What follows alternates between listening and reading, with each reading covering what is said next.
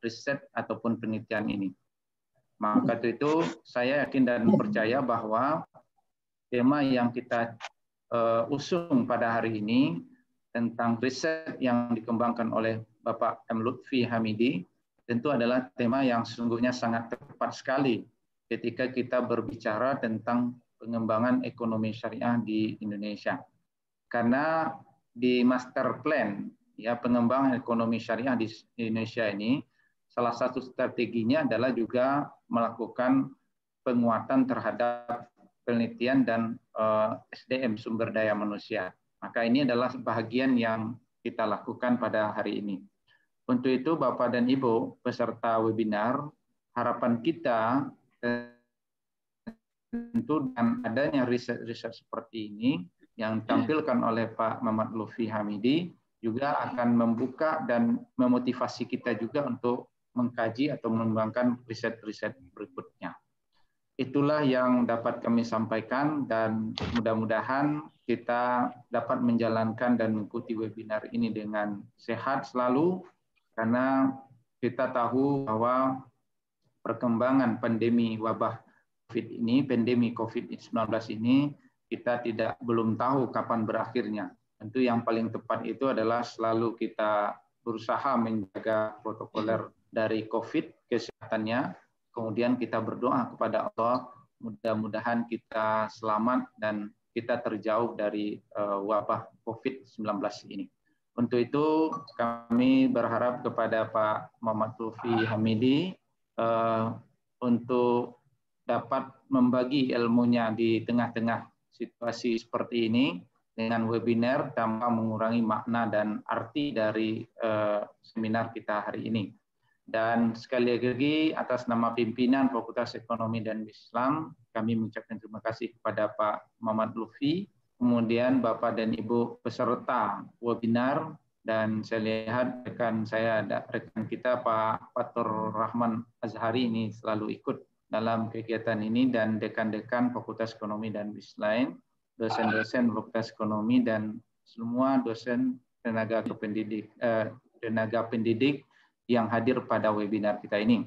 Dan kepada mahasiswa peserta webinar kita mengucapkan terima kasih. Marilah kita ikuti dengan seksama dan kita buka uh, kegiatan webinar uh, seri pertama untuk riset uh, Pak Muhammad Lufi Hamidi dan sesi keempat yang telah diadakan oleh program manajemen perbankan syariah Fakultas Ekonomi dan Bisnis Islam dengan bacakan Bismillahirrahmanirrahim. Terima kasih. Banyak maaf. Wallahu muwaffiq Assalamualaikum warahmatullahi wabarakatuh. Waalaikumsalam warahmatullahi wabarakatuh. Terima kasih kita aturkan kepada Bapak Dekan yang telah membuka acara ini secara resmi. Baik Bapak Ibu, sebelum kita mulai ke materi, terlebih dahulu kita minta sambutan dari Bapak Dekan uh, UIN Sultan Toha Jambi dan setelah itu kita akan melakukan eh, MOU antara FEBI UIN Imam Bonjol Padang dengan UIN Imam Bonjol UIN Sultan Toha Jambi. Baik kepada Bapak Dr. AA Miftah M AG dipersilakan. Baik, bismillahirrahmanirrahim. Assalamualaikum warahmatullahi wabarakatuh. Waalaikumsalam. Alhamdulillahi rabbil alamin wassalatu wassalamu ala asyrafil anbiya wal mursalin sayyidina wa maulana Muhammad wa ala alihi wa sahbihi ajma'in amma ba'du. Yang saya hormati Bapak Ahmad Wira selaku penyelenggara webinar pada hari ini yang saya hormati Bapak Ibu para dekan eh, Fakultas Ekonomi dan Islam di lingkungan PTKIN yang hadir, yang sempatan hadir, Bapak-bapak, Ibu-ibu, para wakil dekan, para ketua jurusan, dan para dosen di lingkungan Fakultas Ekonomi dan Bisnis Islam Universitas Imam Bonjol UN Imam Bonjol Padang Kemudian para mahasiswa yang mungkin berkenan hadir pada hari ini. Pertama-tama tentu kita menyampaikan puji syukur kepada Allah Subhanahu wa taala di tengah Covid ini kita masih bisa bertemu melalui virtual melalui webinar ini dalam kita untuk memperkuat hubungan silaturahmi di antara kita. Kemudian selawat beriring salam mari kita haturkan kepada Nabi kita Muhammad sallallahu alaihi wasallam dengan ucapan Allahumma salli ala Muhammad wa ala ali Muhammad mudah-mudahan kita senantiasa mendapat syafaat beliau. Bapak Ibu yang saya hormati, pada kesempatan ini kami dari Fakultas Ekonomi dan Bisnis Islam Universitas Islam Negeri Sultan Taha Syafuddin Jambi uh, ingin mengadakan semacam MOU MOA ya, MOU atau MOA antara kita Fakultas Ekonomi dan Islam UIN Sultan Taha Jambi dengan Fakultas Ekonomi dan Bisnis Islam UN Imam Yol Padang. Tentu kerjasama ini saya kira sangat menguntungkan sekali bagi kita semua, terutama bagi kedua belah pihak. Dalam kaitannya kita untuk mengembangkan uh, kajian ke ekonomi dan Islam. Tadi sudah disinggung oleh Pak Wira terkait dengan masalah riset, kemudian hal-hal lain lagi yang bisa kita kembangkan ke depan. Karena kalau kita lihat sekarang ini banyak hal yang harus kita lakukan uh, oleh sebuah perguruan tinggi, terutama kita Fakultas Ekonomi Islam. Nah, karena itu kami melihat kita harus banyak melakukan kerjasama dengan berbagai macam perguruan tinggi. Karena tanpa itu rasanya kesulitan-kesulitan yang akan kita hadapi, insya Allah akan bisa kita atasi secara bersama-sama. Saya kira tidak ada perguruan tinggi yang hari ini yang bisa kerja sendiri-sendiri. Tentu saling sharing informasi, saling tukar pengalaman segala macam. Saya kira itu sangat penting. Nah, atas dasar itulah kami dari PB UN ingin uh, bekerja sama dengan UN Imam Jol Padang. Mudah ini dapat membawa kemanfaatan lebih besar bagi pengembangan ekonomi dan bisnis Islam di daerah kita masing-masing secara khusus. Kemudian uh, secara nasional Indonesia secara umumnya mudah-mudahan ada, ada manfaatnya. Pertama terkait dengan bidang pendidikan, kemudian penelitian, dan tukar apa nama itu saling tukar mungkin dosen dan mahasiswa ke depannya. Nah, ini dalam rangka kita untuk tidak ada lain adalah ingin mengembangkan kualitas pendidikan di kampus kita masing-masing. Nah, mudah-mudahan dengan MOU ini atau dengan dengan juga melalui binar ini kita banyak mendapat manfaat, sharing pengetahuan dan segala macamnya. Saya kira itu saja sambutan dari saya, tidak usah berlama-lama.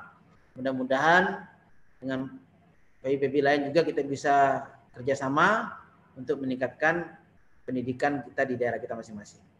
Demikian, kurang lebih mohon maaf. Akhirul kalam. Wassalamualaikum warahmatullahi wabarakatuh. Waalaikumsalam warahmatullahi wabarakatuh. Terima kasih Bapak Dekan Febi Uin Sultan Taha.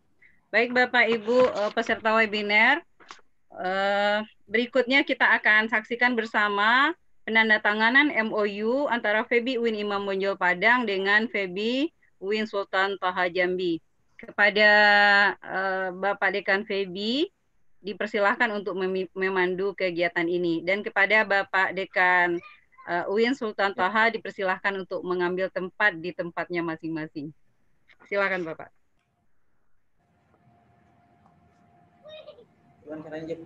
Ya, terima kasih kepada Bu Yenti Pak Dokter uh, minta uh, Alhamdulillah nih kita informasikan kepada uh, Bapak dan Ibu peserta webinar di acara kita ini juga kita melakukan kerjasama ya MOA yang ditandatangani secara virtual. Ya. Ini memang sangat luar biasa. Terima kasih nih Pak Dekan Ya sama-sama Pak. Ya. Kita, kita untuk bergabung Pak Dokter Miftah uh, untuk dalam rangka kita melakukan MOU. Nah, jadi karena memang tempat berbeda-beda, Bu Wakil Dekan kita ada Bu Rosalinda. Saya tidak tahu nih Pak Pak Dekan dengan Wakil Dekan tiganya ada nih. Ada ada Pak Cipto ada nih. Nih Pak Cipto Pak Cipto di samping saya ini. Ada. Ini tiga di samping saya ini. Ya, oke, okay, alhamdulillah. Nah, kalau kami sekarang Bu Rosalida di kampus berbeda, maka untuk itu nanti kita ah, akan tanda tangan MOU secara virtual dan tentu nanti uh, kita harap uh, foto bersama melalui uh, virtual ini juga gitu di layar masing-masing. Jadi untuk itu kami informasikan kepada Bapak dan Ibu uh, pada webinar ini kita juga mengisi dengan kerjasama dengan uh, uh, UIN Sultan Taha Jambi. Oke, kita mulai Pak Dekan. Ya, mulai. Ya, oke. Kita mulai ya, dengan tangan ya. Ya, ya kita mulai tanda tangan. Ya, bismillahirrahmanirrahim. Ya. Tanda tangan ya. Ya. Oke, uh, silakan Pak Bu Rozak, Pak Dekan, ya kita keluarkan eh, yang sudah ya. ditandatangani, kita screenshot. Ya. Ya. Ya, ya kita foto satu, dua, tiga. Ya, terima kasih kepada host yang sudah memfotonya. Kemudian silakan Pak Dekan wajahnya dekat kamera ke ayah. Ya, sudah Pak Mira, sudah. Untuk fokus ke apa? Kami harap Bapak dan Ibu semua bisa untuk membuka fotonya. Ya, mohon di open videonya ya. Bapak Ibu. Ya, ya. supaya memang MOU-nya ini Ah, lagi cip. Ah, ya, oke. Okay. Lagi cip, lagi. Ya, kita screenshot. Lagi, lagi, lagi. Ya. Jangan Pak Cip. Cip. Oke, kita mulai. Ya. Satu, dua, tiga. Terima kasih Pak Dekan. Ya, sama-sama Pak Lurah. Sehat selalu. Alhamdulillah. Kita mudah sangat berharap kerjasama kita dalam tiga hal yang disampaikan tadi. Iya, iya, iya. Terkait dengan tukar menukar uh, uh, kunjungan dosen. Ya. Kemudian riset, kolaborasi riset. Iya, iya, Dan ya. yang ketiga, kita juga ingin nanti kalau ada anak-anak kita yang dari Jambi, lalu dia KKN di situ dengan tematik, maka oh, diharapkan iya, iya, nanti okay. kerjasama seperti itu. Dan mungkin anak-anak yang di Sumbar, iya, iya, kita iya. juga bisa kita uruskan di sini begitu. Iya, iya. Ini mungkin model-model teknis yang bisa kita lakukan secara teknis. Iya, iya. Dan mudah-mudahan ini bisa kita lakukan secara bersama-sama. Iya, iya, betul. Sekali lagi terima kasih Pak Dekan. Iya, sama-sama Pak Wira. Pantaha. Kemudian Bapak dan Ibu peserta webinar. Untuk selanjutnya kita serahkan kembali ke Bu Yenti Afrida. Banyak maaf. Assalamualaikum warahmatullahi wabarakatuh. Waalaikumsalam. Waalaikumsalam warahmatullahi wabarakatuh. Terima kasih Bapak Dekan Febi dan Bapak Ibu Dekan Wakil Dekan 3 Ibu Roza tadi dan terima kasih juga kepada Febi Uin Sultan Toha. Mudah-mudahan ya, dengan terjalinnya kerjasama ini kemudian menambah uh, keakraban dan silaturahmi kita ke depannya dan dari MOU itu bisa kita berkolaborasi untuk hal-hal yang tadi sudah dituangkan dalam poin-poin uh, tersebut di atas. Baik Bapak Ibu peserta webinar, berikutnya kita akan masuk ke sesi sharing uh, riset Bapak Lutfi Hamidi. Kegiatan ini akan dipandu, dimoderatori oleh Ibu Nila Mardiah SMM. Kepada Ibu Nila Mardiah dipersilakan. Terima kasih uh, Bu uh, host kita Bu Yanti Afrida. Eh, yang Assalamualaikum warahmatullahi wabarakatuh. Yang terhormat uh, Bapak Dekan Febi UIN Imam Bonjol Padang, yang kami hormati Bapak uh, Dekan AVB seluruh Indonesia.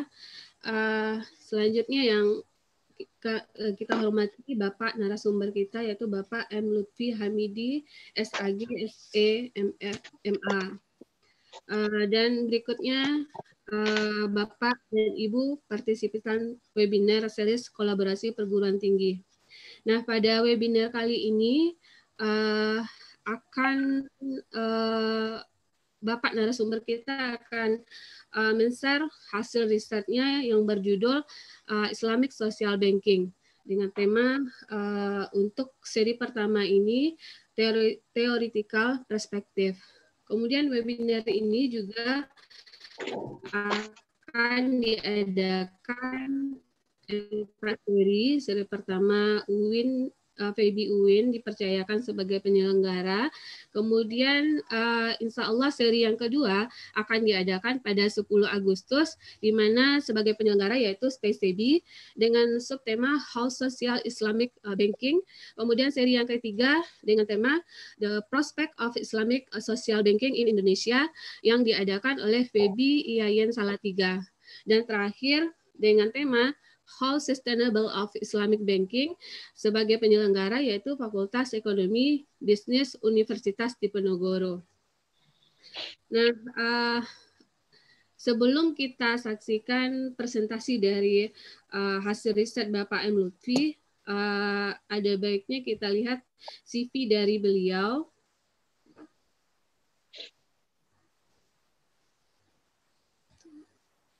Uh, saya cari mohon maaf uh, hostnya minta tolong diaktifkan seri share screen-nya Bu.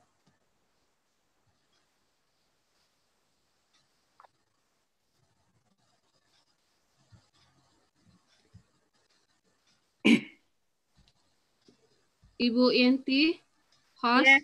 Yeah. Mohon, maaf, mohon maaf diaktifkan share screen-nya, Bu. Ya, Bu Nilai udah co-host itu. Bisa okay. langsung share. Ya. Yeah. Yeah.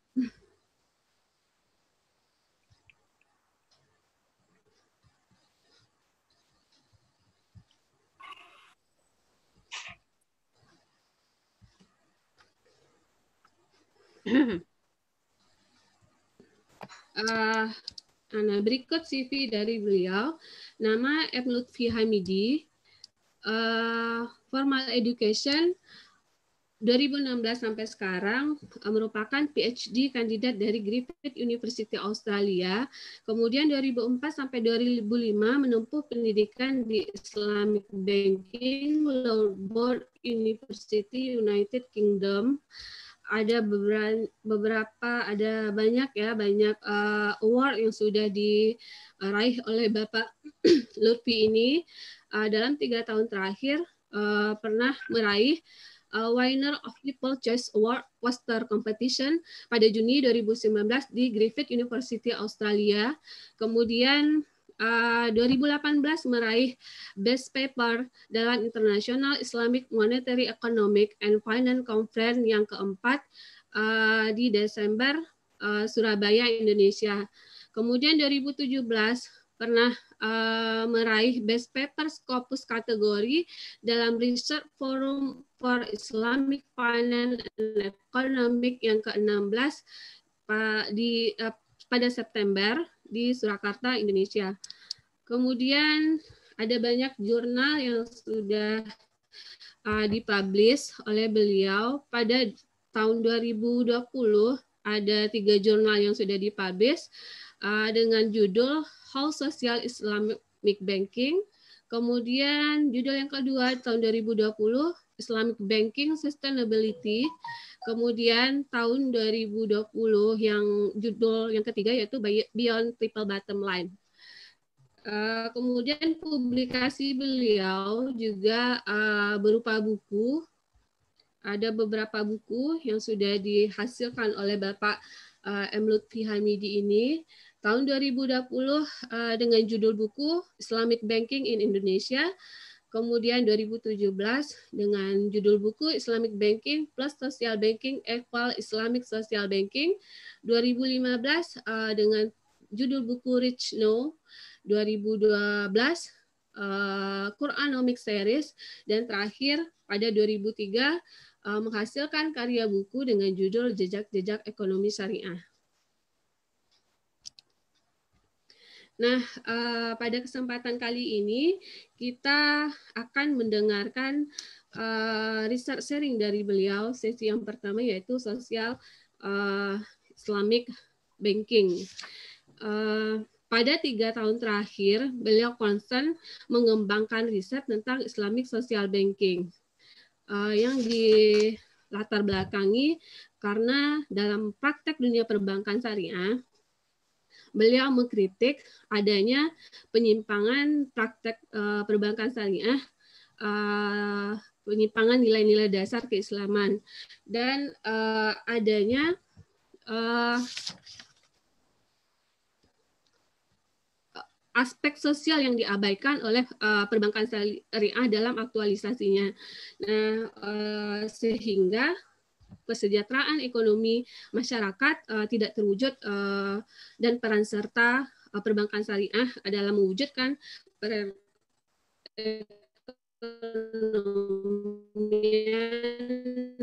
masyarakat terutama masyarakat ekonomi uh, beliau merekomendasikan adanya Islamic Social Banking untuk mencarikan solusi perbankan syariah uh, dalam mewujudkan peningkatan ekonomi kemasyarakatan.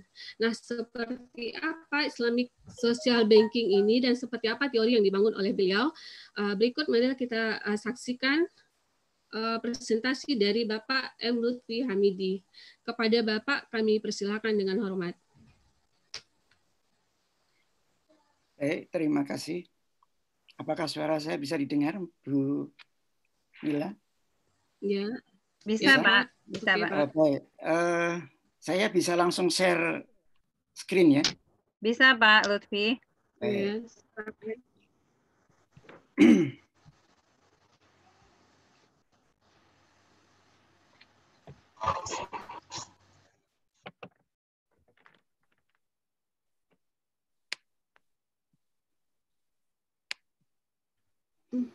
Bismillahirrahmanirrahim.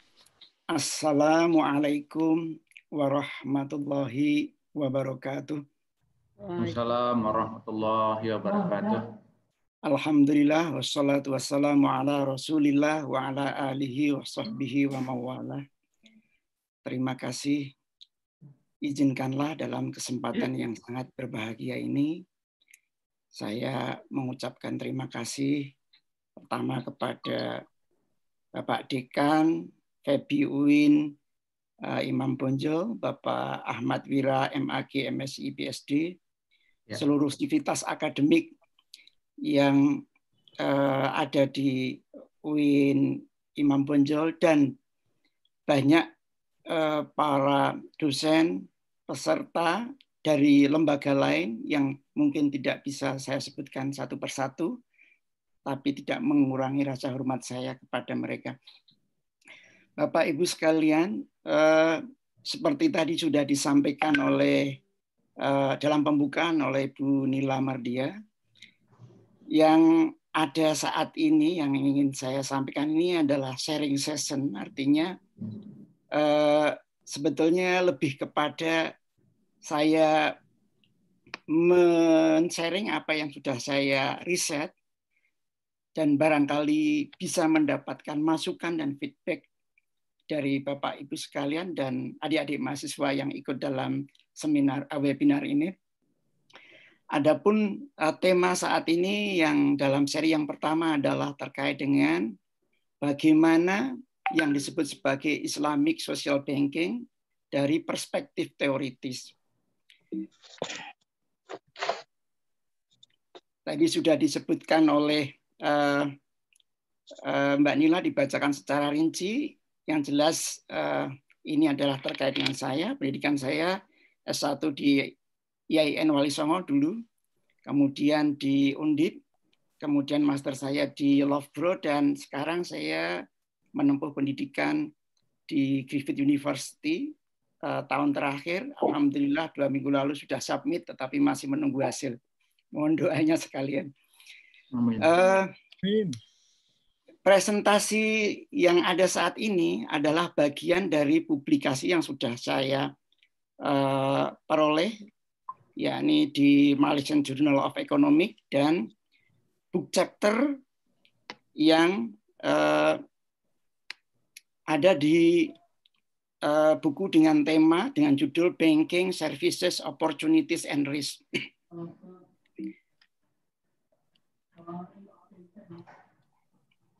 Sebagaimana yang tadi sudah disampaikan, eh, seri pertama ini adalah bentuk dari eh, serial, artinya ini baru seri yang pertama. Mudah-mudahan nanti minggu depan, hari Senin, kita bisa membahas kelanjutan seri yang pertama ini dengan tema How Social is Islamic Banking. Nanti yang akan jadi host adalah Stay Sebi, yang kemudian akan dilanjutkan oleh uh, seri ketiga The Prospect of Islamic Social Banking in Indonesia yang jadi ah, hostnya adalah Win Salatika dan terakhir insya Allah uh, topiknya How Sustainable is Islamic Social Banking akan di host oleh uh, Universitas Diponegoro. Ini sementara yang di uh, untuk minggu depan Senin. Mohon maaf ini harinya harusnya mestinya Senin tanggal 10 Agustus. Baik, Uh, dalam presentasi kali ini saya ingin memberikan outline kira-kira apa yang akan kita cover dalam uh, seminar kali ini.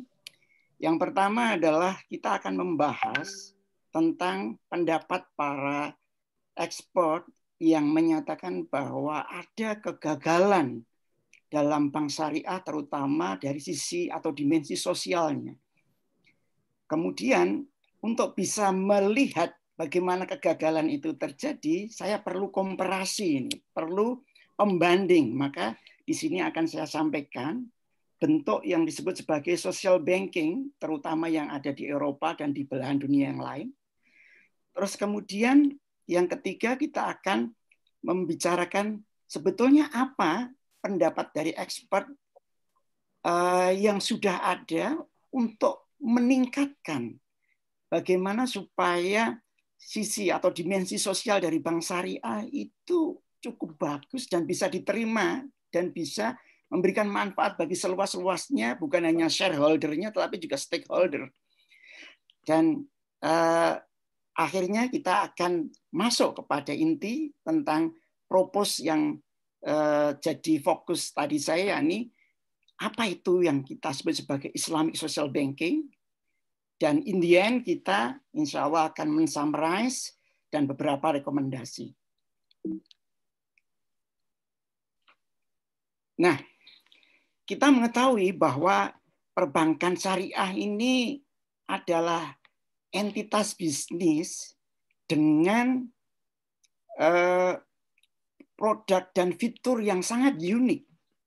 Saya katakan sangat unik karena produknya tidak ditemui di bank konvensional sebagai counterpart bank syariah. Dan prinsip-prinsip yang unik itu mengejawantah dalam produk yang unik juga. Kita memiliki mudoroba, memiliki musyarakah, memiliki banyak jasa yang lain yang tentu tidak kita temui di bank-bank konvensional. Hanya saja ketika di dalam prakteknya kita melihat ada divergensi, ada sedikit gap antara praktek di lapangan dengan teori.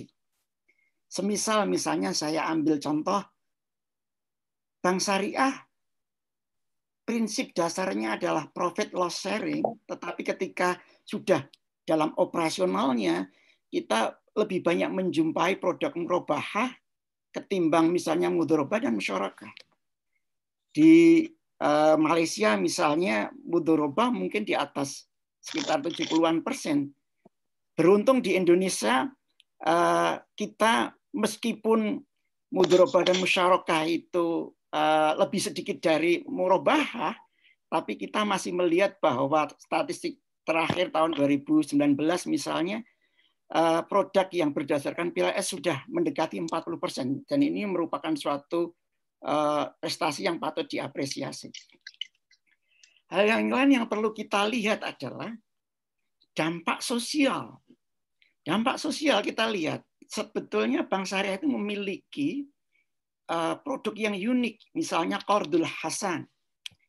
Secara eh, terminologi Qardul Hasan itu kan memberikan pinjaman kepada pihak kedua di mana pihak kedua ketika sudah saatnya harus mengembalikan, dia hanya mengembalikan pokoknya tanpa memberikan tambahan.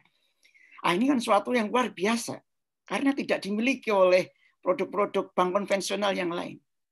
Namun kalau kita melihat statistik Qardul Hasan ini kurang lebih baru sekitar tiga persen. Jadi efek dimensi sosialnya masih sangat tipis untuk mengatakan mungkin hampir-hampir bisa diabaikan.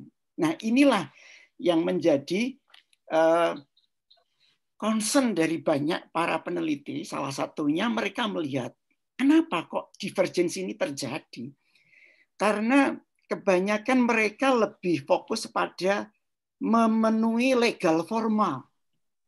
Ketika fikihnya urusannya sudah dibereskan, kemudian akhirnya yang penting sudah selesai dicentang, baru kemudian Pak tapi prioritasnya akhirnya buntut-buntutnya adalah lebih mengejar profit. Berbeda misalnya kalau kepentingan makosid syariah itu diangkat lebih utama, ah, kita nanti bisa expect bahwa hasilnya mungkin akan lebih memberikan eh, pengaruh bagi eh, dimensi sosial. Seperti yang disampaikan misalnya oleh Profesor Asutai di sini dan beberapa peneliti yang lain. Mereka menengarai bahwa perilaku dari Bank Islam di seluruh dunia itu hampir mirip. Mereka mengatakan bahwa Bank Syariah kurang berhasil untuk mengatakan gagal dalam dimensi sosialnya. Saya kasih contoh seperti ini misalnya. Gambar seorang tukang cukur berikut ini. Mereka ini sebetulnya adalah uh, potensial customer yang perlu digarap oleh Bank Syariah. Namun saya membayangkan kalau dalam posisi beliau, agak-agaknya seumur-umur dia masih akan praktek di bawah pohon belum akan memiliki outlet sendiri. Kenapa? Karena mungkin dia punya alasan, oh saya tidak memiliki capital untuk punya bangun ruang sendiri yang lebih eh, komprehensif bagi bisnis saya. Nah itulah makanya Prof. Asute ini mengatakan agak-agaknya nih Bank Syariah ini lebih lebih memprioritaskan customer-customer yang sudah established, yang sudah mapan, yang sudah bisa bikin Eh, katakanlah sudah punya eh, eh, future bisnisnya sudah jelas, sudah punya laporan keuangan yang mapan dan sebagainya. Nah, di situlah agak-agaknya yang perlu menjadi concern dari Bank Syariah karena Bank Syariah ini pada awalnya didirikan, diinisiasi justru untuk menjangkau mereka yang saat ini tidak terjangkau oleh bank konvensional. Nah, itulah karenanya untuk bisa melihat apakah kita bisa melihat dengan lebih objektif, saya ingin membawa sebuah komparasi di sini yang namanya social banking. Social banking, saya ambil salah satu definisi yang disampaikan oleh Corney and Savars ini tahun 2014, dia mengatakan Social banking itu adalah lembaga intermediasi keuangan yang dia juga memperhatikan, dia juga memfokuskan kepada hal-hal yang sifatnya non ekonomi. Nah, ini yang paling penting. Kenapa? Karena kalau lembaga bisnis konvensional biasa mungkin lebih fokus pada masalah finansialnya saja. Tetapi mungkin mereka sedikit mengabaikan per, uh, persoalan terkait sosial, etikal, dan environmental. Ini itu bisa dilihat dari apa target market mereka. Target market itu kalau dipetakan bisa uh, circle 1 sampai 4. Nah, kebanyakan bank bank yang sekarang ada termasuk bank syariah itu mereka mainnya di circle pertama. Orang-orang yang sudah customer yang sudah jelas yang Eh, istilahnya memiliki kolateral, memiliki jaminan, bisnisnya bagus, prospeknya mereka sudah visible segala macam. Nah, adapun social banking ini mereka justru bermain di circle kedua, tiga, dan empat. Jadi dalam kasus kalau kita melihat tadi seorang pencukur yang eh, beroperasi di bawah pohon itu menjadi bagian dari target pasar mereka. Ini yang menarik nih. Karena boleh jadi bank syariah kalah dalam hal ini dibanding dengan social bank. Hanya saja kalau kita melihat spreadnya, sebarannya, kalau kita lihat social banking yang dipublish oleh Global Association Banking on Value ini memang tidak belum terlalu banyak. Fokusnya masih di daerah Eropa, kemudian ada di Amerika Latin, di Kanada, sebagian kecil di Afrika, di Australia sedikit ada dua. Nah, kita tidak menemukan satu pun contoh di Indonesia. Belum ada ini. Nah, lalu apa sebetulnya keistimewaan dari social banking yang kita ingin uh, pelajari ini? Ini ada enam hal. Ada triple bottom line, maksimum transparency, stakeholder oriented, supporting real economy, segala macam. Saya coba akan bahas satu persatu. Yang pertama, triple bottom line. Triple bottom line ini adalah framework yang sekarang sangat uh, fenomenal. Kenapa? Jadi kita bisa melihat karena framework ini diadopsi oleh United Nations dalam SDG-nya. Jadi ketika mereka mendevelop sustainable development growth, mereka mengadopsi bangunan triple bottom line. Apa itu triple bottom line? Triple bottom line pada dasarnya adalah keyakinan bahwa entitas, apakah itu bisnis, apakah itu NGO, bahkan government sekalipun, itu tidak akan sustainable kalau dia hanya fokus pada sisi finansial saja. Dengan kata lain, dia harus juga memperhatikan sisi yang lain seperti sosial, lingkungan. Nah, dua hal yang sering kita abaikan. Kenapa? Karena kalau kita perhatikan sosial dan environmental, itu ada kosnya. Dan mereka yang main di bisnis merasa, wah ini kalau terlalu banyak kosnya, mereka profitnya berkurang. Kira-kira begitu. Tetapi kalau kita terlalu fokus ke finansial, bisnis menjadi tidak sustainable. Nah, ini yang saya contohkan. Saya ambil uh, laporan keuangan yang dipublish oleh Triodos Bank, salah sebuah eh, salah satu bank sosial yang bermarkas di Eropa.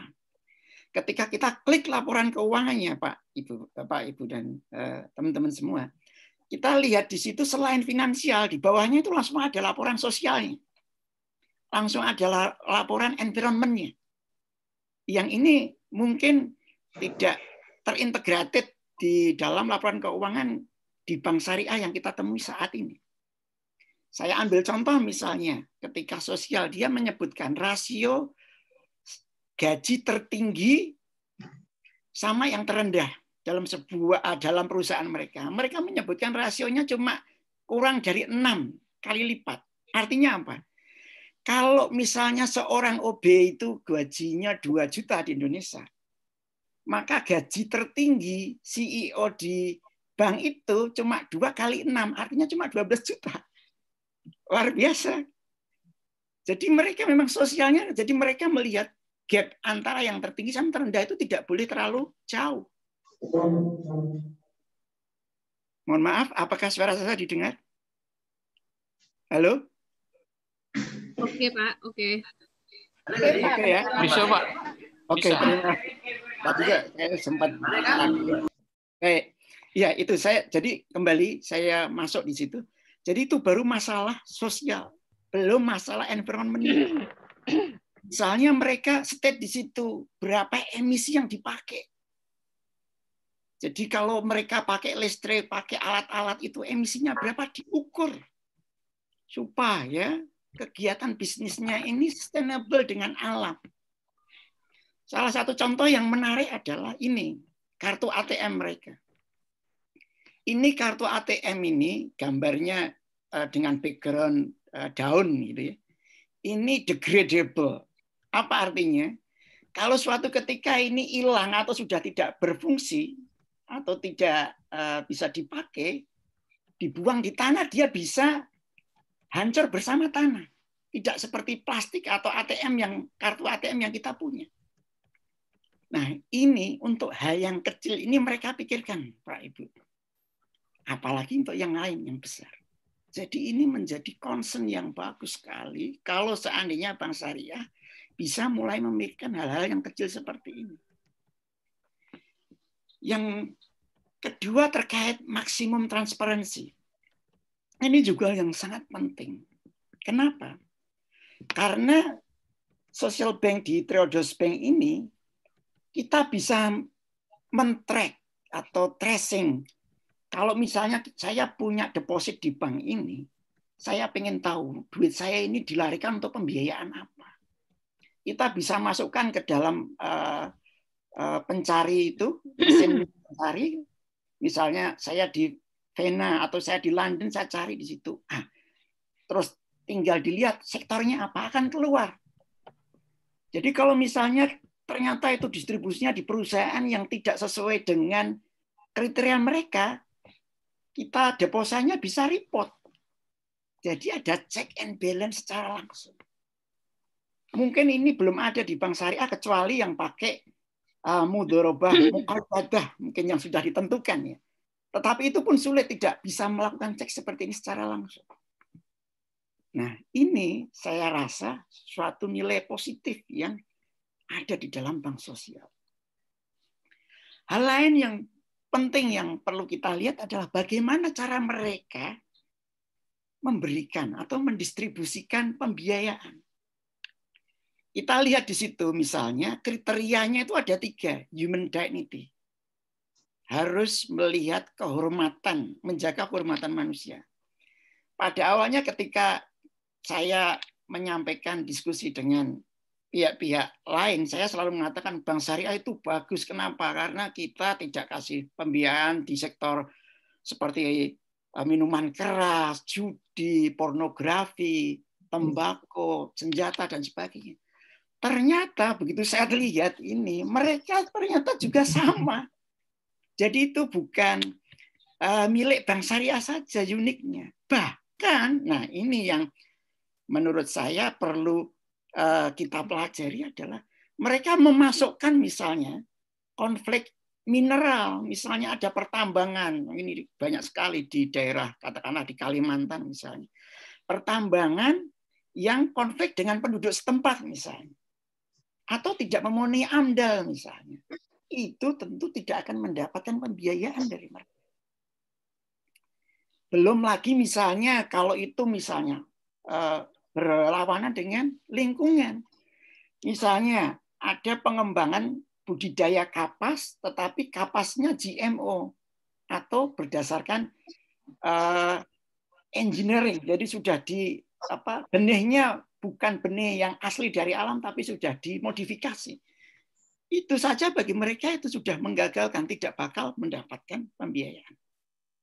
Nah, ini investment kriterianya yang cukup menarik. Nah, dari gambaran tadi sedikit kita bisa melihat bahwa social banking ini sepertinya cukup bagus untuk dijadikan benchmark untuk melihat sisi sosial dari bank syariah. Ada hal-hal lain yang mungkin bisa kita lihat misalnya. Kenapa? Karena social banking ini dari desain objektifnya adalah dia dari awal menyebutkan bahwa kami berdiri untuk kepentingan selain finansial juga kami akan berkontribusi secara penuh di dalam dimensi sosial maupun di dalam dimensi lingkungan. Yang kedua, mereka juga menjelaskan bahwa eh, ketika bank sosial ini terjadi krisis tahun 2008 ada krisis dunia yang berpusat di Amerika, peneliti menyebut bahwa ternyata mereka lebih resilient, lebih tahan terhadap gempa krisis. Di samping itu, tadi transparansi juga sudah. Nah, yang mungkin tak kalah menarik adalah bagaimana mereka mendesain kolateral. Ini menurut saya poin yang paling menarik. Kenapa?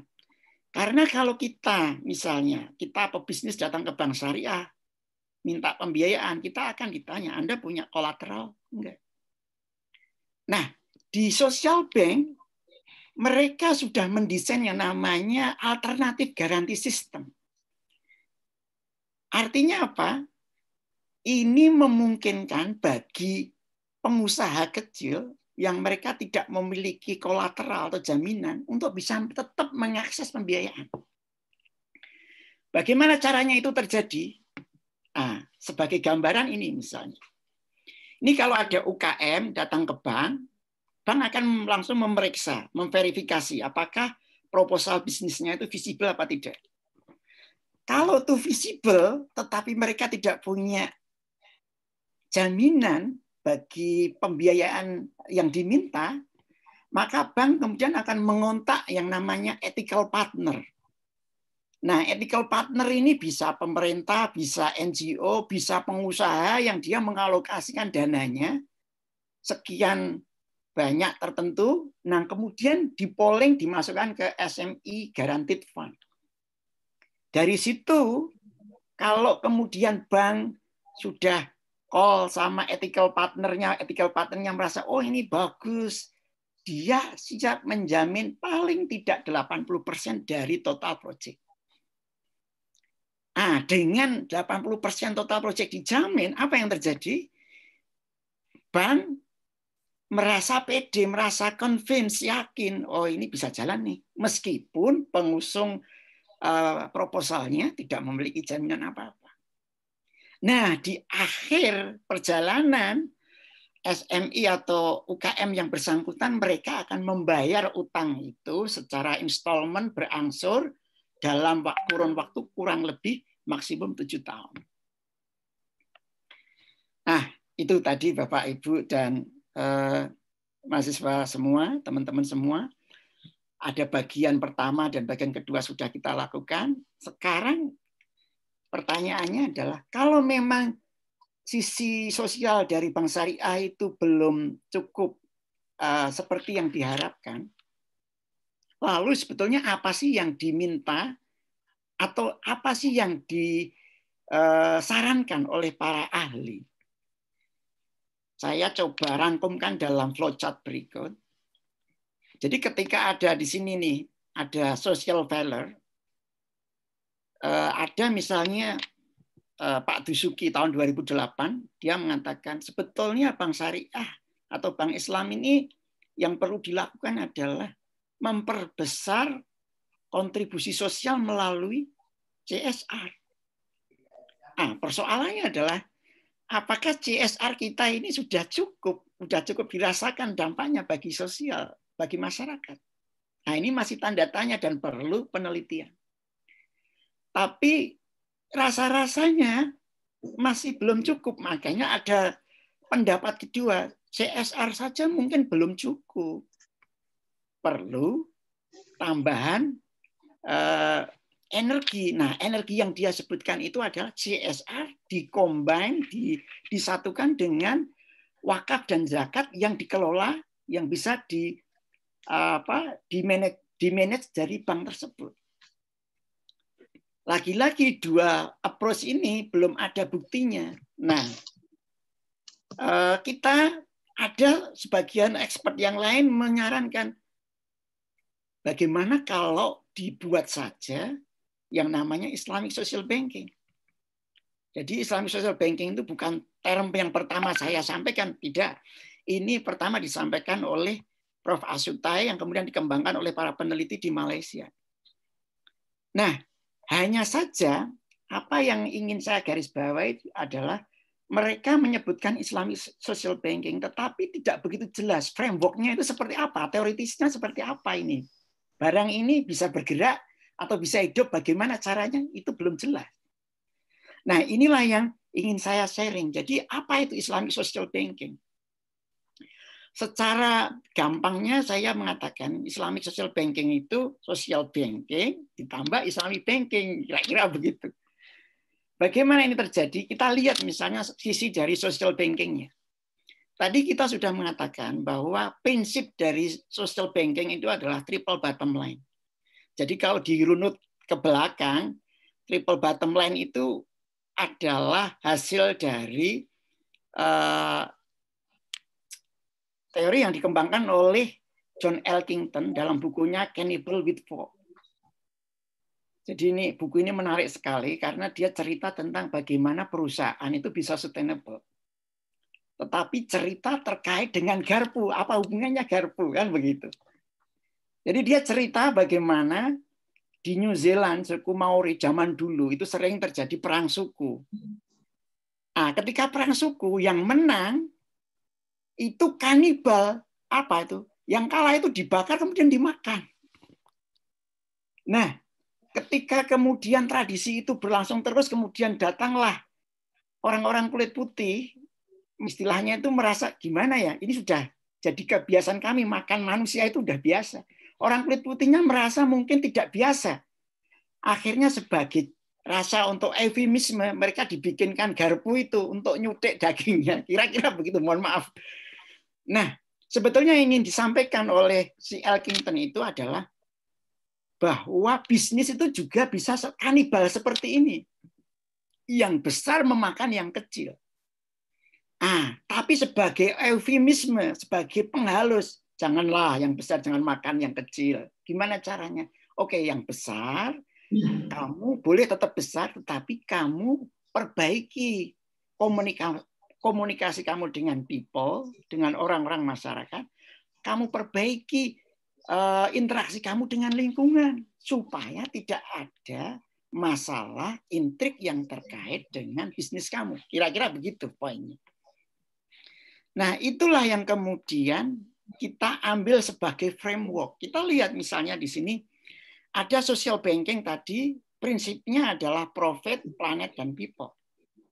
Sementara di sisi kedua Islamic banking dia punya uh, apa itu uh, prinsip misalnya mengharamkan riba. Kinerjanya produknya berdasarkan profit loss sharing. Tidak membolehkan yang namanya horor, mesir, judi, uh, spekulasi dan sebagainya. Tidak boleh kegiatan pembiayaan kegiatan yang haram. Nah, semuanya itu harus dalam makosid syariah. Nah, kalau saya boleh Eh, menerjemahkan semua itu sebetulnya terminologinya bisa diperas dalam satu eh, kata kunci. Apa? Profet. Profetik. Yang artinya nabi. Kenapa? Karena semua ini berasal dari nabi. Kita tidak nggarap sendiri kita tidak mendesain sendiri. Semuanya dari nabi dari wahyu. Nah karena itu yang saya kembangkan adalah dari triple bottom line di mana uh, profit, people, dan planet tadi kita extend tambah satu dimensi yang namanya prosperity. Saya tidak menggunakan dimensinya namanya profit dalam hal ini. Kenapa? Karena profit itu lebih apa ya? Lebih sempit maknanya. Tapi kalau kita menggunakan kata prosper, itu makmur itu lebih lebih luas bukan hanya bagi perusahaan tapi mungkin juga keuntungan perusahaan itu bisa nyiprat ke lingkungan sekitarnya. Dan makanya saya sebut sebagai lebih prosperity. Ah, sampai di sini mungkin Bapak Ibu dan adik-adik mahasiswa mungkin bertanya, apa eh, justifikasi dari logika yang saya sampaikan ini? Tentu justifikasi ada dua. Pertama dari sisi agama sendiri, teologisnya seperti apa. Yang kedua dari sisi uh, uh, ilmiahnya seperti apa. Yang baik, kita lihat dari justifikasi teologi. Kalau kita bicara masalah sustainable, ternyata ini bukan masalah baru, Bapak Ibu sungguh mengejutkan. Waktu saya masih di madrasah, saya sudah membaca ayat ini berkali-kali, tapi saya tidak tidak akal saya tidak nyambung. Tapi begitu saya baca Elkington, teorinya triple bottom line, saya melihat luar biasa ini Quran. Jadi surat Al-Qasas 28 ayat 77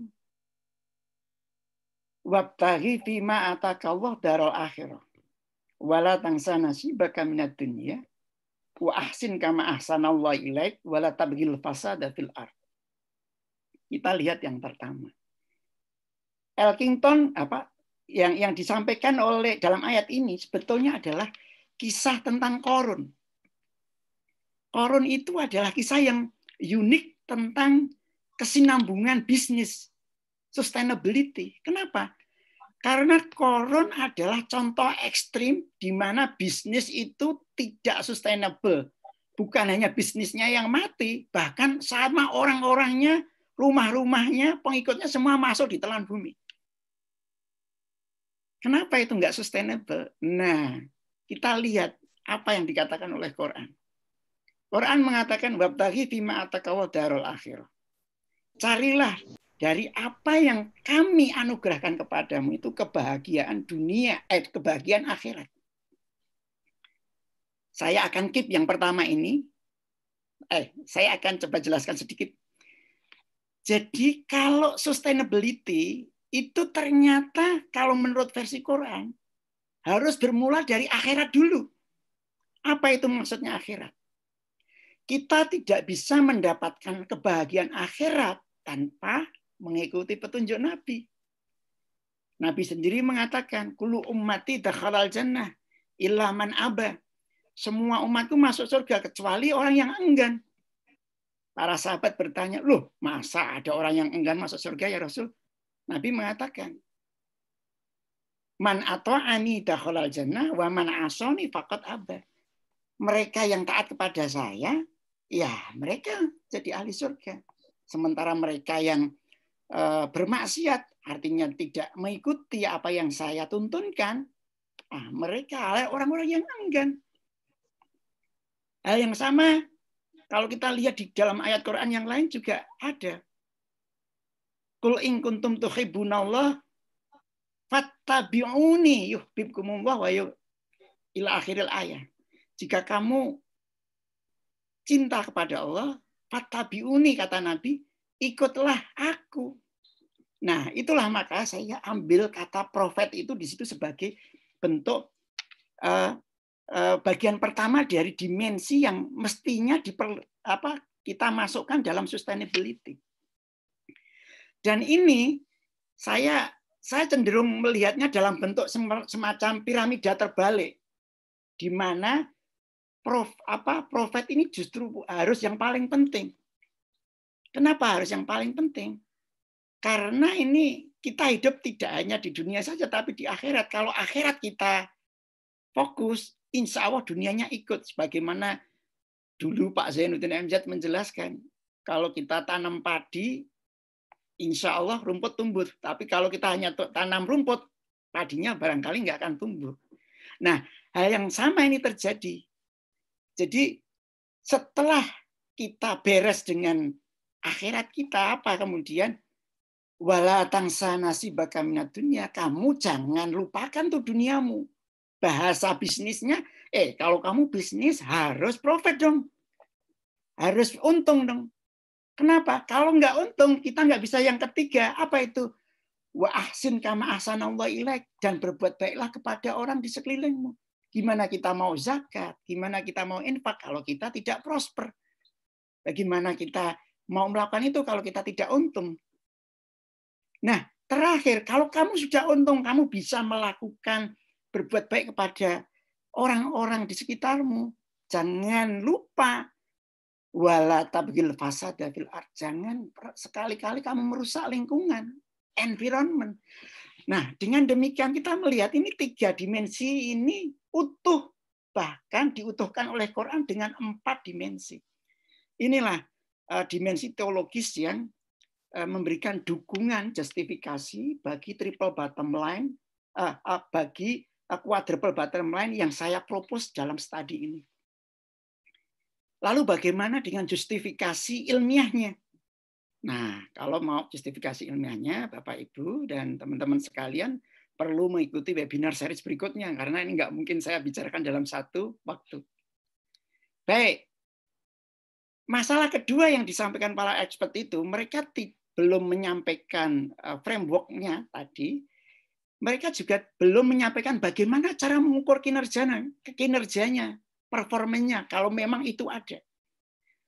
Nah, terkait dengan triple bottom line, Bedui and Mansur ini dia sudah membuat kalau seandainya ada tiga dimensi, mengukur kinerjanya kira-kira seperti ini.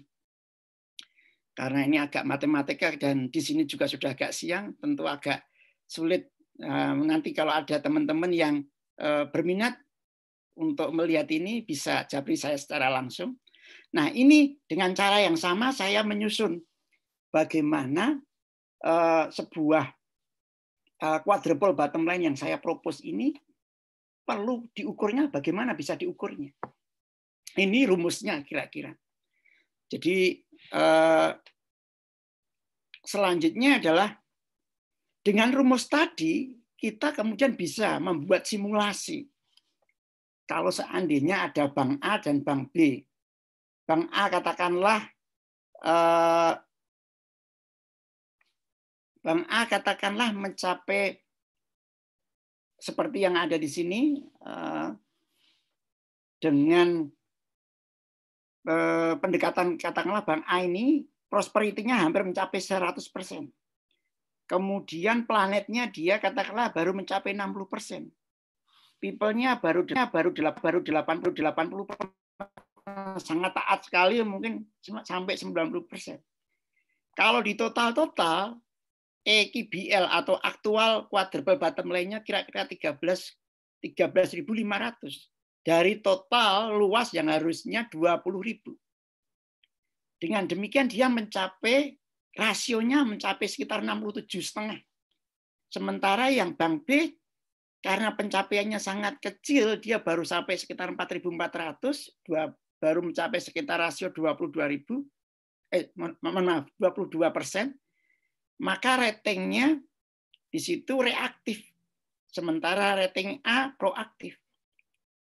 Bagaimana saya membuat rating ini? Jadi ada uh, expert yang mendesain yang namanya RDAP scale. RDAP ini R ini reaktif, artinya kalau sebuah bisnis itu hampir-hampir tidak menjalankan bidang apa uh, dimensi sosial yang dikehendaki. Nah, tapi yang proaktif itu artinya dia sudah menjalankan standar minimal yang diberikan bahkan lebih. Makanya disebutnya sebagai proaktif di sini. Baik, kira-kira itu kita akhirnya sampai pada konklusi dan rekomendasi. Jadi konklusi yang pertama kita sampaikan tadi di bagian pertama bahwa sebagian kalangan ahli perbankan syariah melihat bahwa bank syariah ini eh, kurang berhasil dalam menjalankan misi sosialnya. Nah, kemudian kita sempat sampaikan bahwa untuk mengukur bagaimana sosial itu bisa eh, berhasil, paling tidak kita punya komparasi dan komparasi ini saya ambil dari social banking.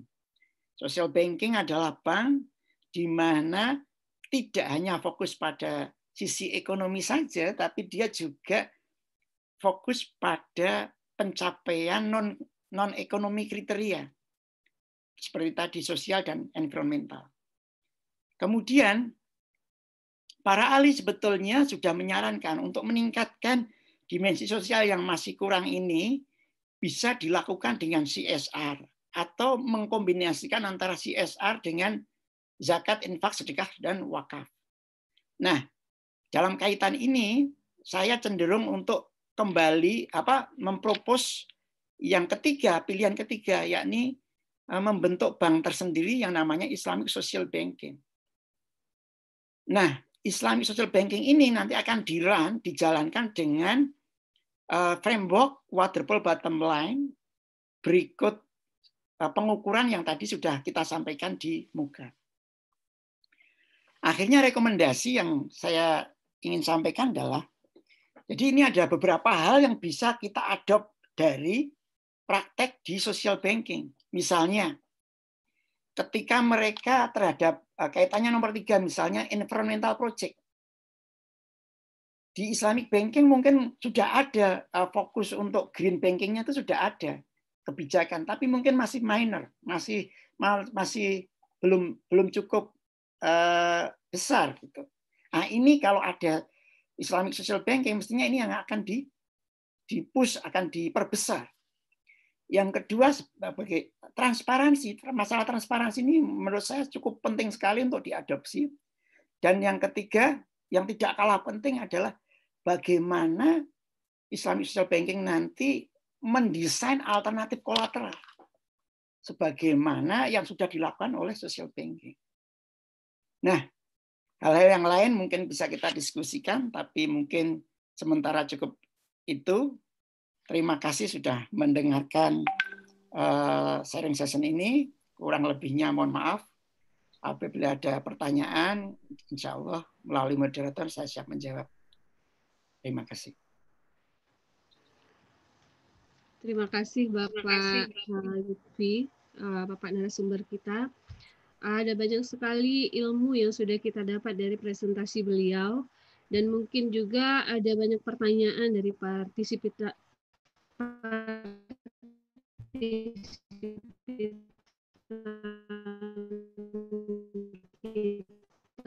pada saat ini.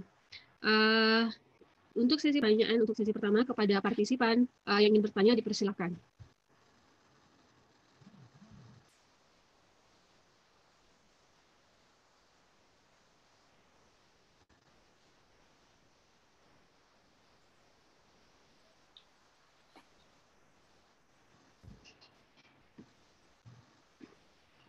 Langsung saja yang ingin bertanya, aktifkan mic-nya. Ya, Assalamualaikum warahmatullahi wabarakatuh. Waalaikumsalam warahmatullahi wabarakatuh. Ya, ini saya Rial Fuadi dari IAIN Solo, Bu. Ya, silakan Pak.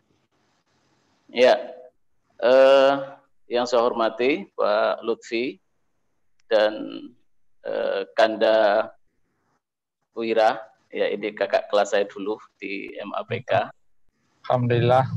Ya, uh, Pak Lutfi, ini kebetulan ya kalau orang Jawa bilang itu dilalah ya. Kebetulan uh, disertasi saya itu berkaitan dengan fungsi sosial bank syariah. Masya eh, Allah. Uh, kemarin saya, Pak. Ya, hmm. kemarin saya mengangkat judul itu optimalisasi fungsi sosial di BPRS se-ex Keresidenan Surakarta. Terus hmm. eh, fokusnya adalah tentang kendala dan solusi fungsi core. Oh, Oke. Okay. Ya, jadi saya fokusnya ke core. Eh, latar belakangnya sama dengan panjenengan sampaikan, yaitu eh, fungsi sosial di Bank Syariah itu memang belum terlihat. Karena saya fokus di Indonesia, itu kan di fatwa MUI tentang KOR itu sana dijelaskan betul bahwa salah satu yang membedakan antara bank syariah dan bank konvensional itu adalah bank syariah itu berfungsi ganda, yaitu fungsi bisnis dan fungsi sosial. Nah, kalau kita lihat di laporan keuangan atau laporan publikasi ya, publikasi bank syariah khususnya di BPRS itu, itu hampir hampir fungsi sosial di core itu tidak muncul ya. Artinya tidak ada fungsi sosialnya. Maka di sana Pak Lutfi saya itu membagi ini hanya sharing saja ya. Saya membagi fungsi sosial di bank syariah itu ada dua ada fungsi mal dan ada fungsi uh, tamwil. Nah, fungsi malnya itu itu ada pada zis zakat infak sodakoh kemudian CSR itu itu di fungsi malnya.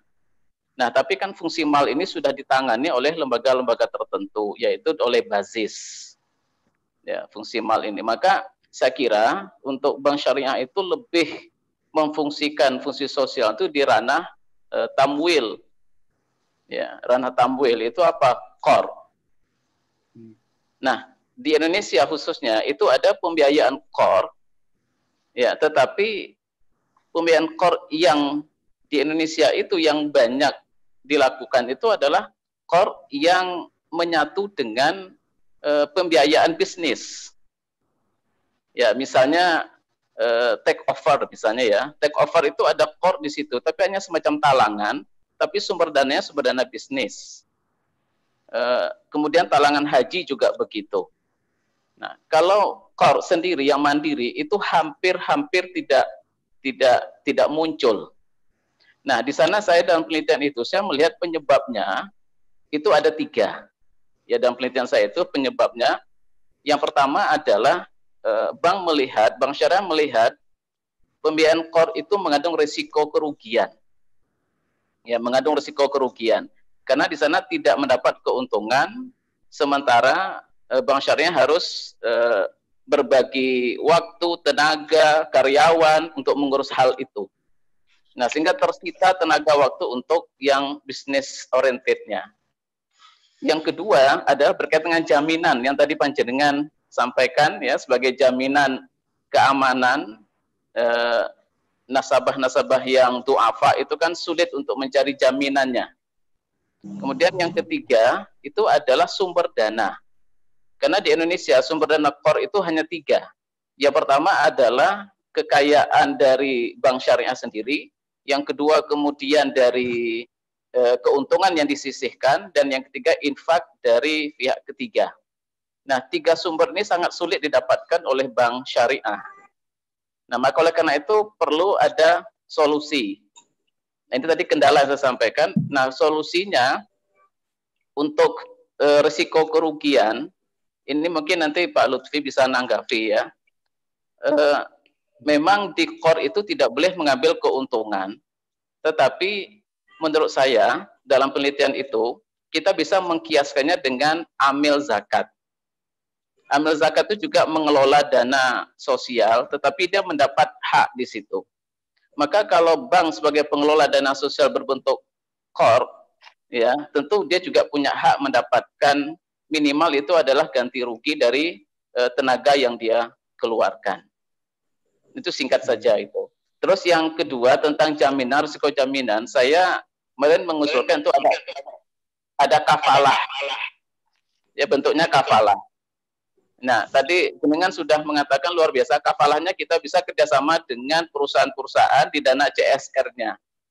Jadi dana CSR perusahaan dijadikan sebagai kafalah, sebagai jaminan hutang duafa itu.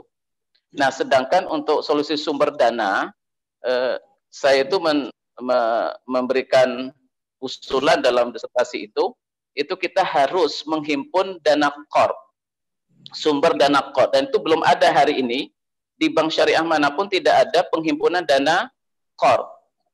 Penghimpunan dana korp ini maksudnya adalah eh, agnia itu me mensodakohkan manfaat dari hartanya.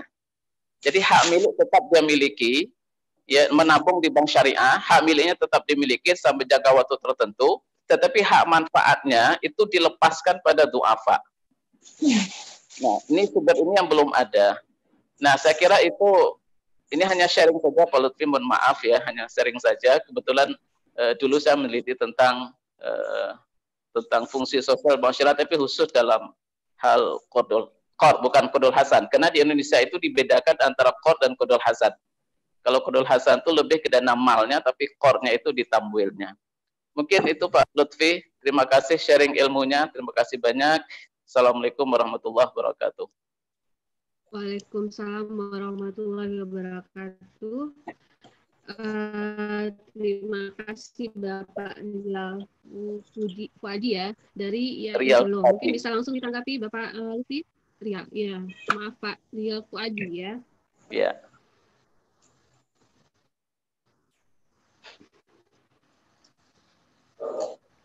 kita minta tanggapannya dari Bapak Lutfi uh, sharing session dari Bapak Rial uh, apa uh, sharing riset dari Bapak Rial Adi. Apakah saya bisa langsung menanggapi atau dibuka termin yang lain, Mbak? ya, langsung aja, Pak. Ya. Langsung aja. Langsung aja ya? Langsung aja ditanggapi, Pak. Baik, terima kasih. Luar biasa ya. apa yang sudah disampaikan oleh Pak Rial Fuadi. Terima kasih jazakallah Pak untuk sharingnya. Uh, saya malah tidak mendapatkan hal-hal yang sangat unik yang sudah Bapak teliti seperti itu. Dan inilah uh, tujuan saya sharing session seperti ini karena kita bisa mempertemukan ide-ide yang berserak di lapangan untuk saling memperkuat dan uh, mengisi satu sama lain. Adapun terkait dengan tadi yang Bapak sampaikan, saya yang sangat tertarik adalah tadi keluhan Bapak adalah bagaimana cara penghimpunan dana kor yang sampai saat ini belum atau paling tidak belum ada wujud caranya gitu ya karena kor tadi sumbernya dari kekayaan bank syariah, kemudian keuntungan bank syariah dan infak dari pihak ketiga. Iya. Nah, kembali saya ingin melihat dari pelajaran yang disampaikan oleh bank sosial. Bank sosial ini mereka tidak beragama, tetapi mereka tetapi mereka bisa kita lihat ini. Mereka punya cara untuk menghimpun dana itu, Pak.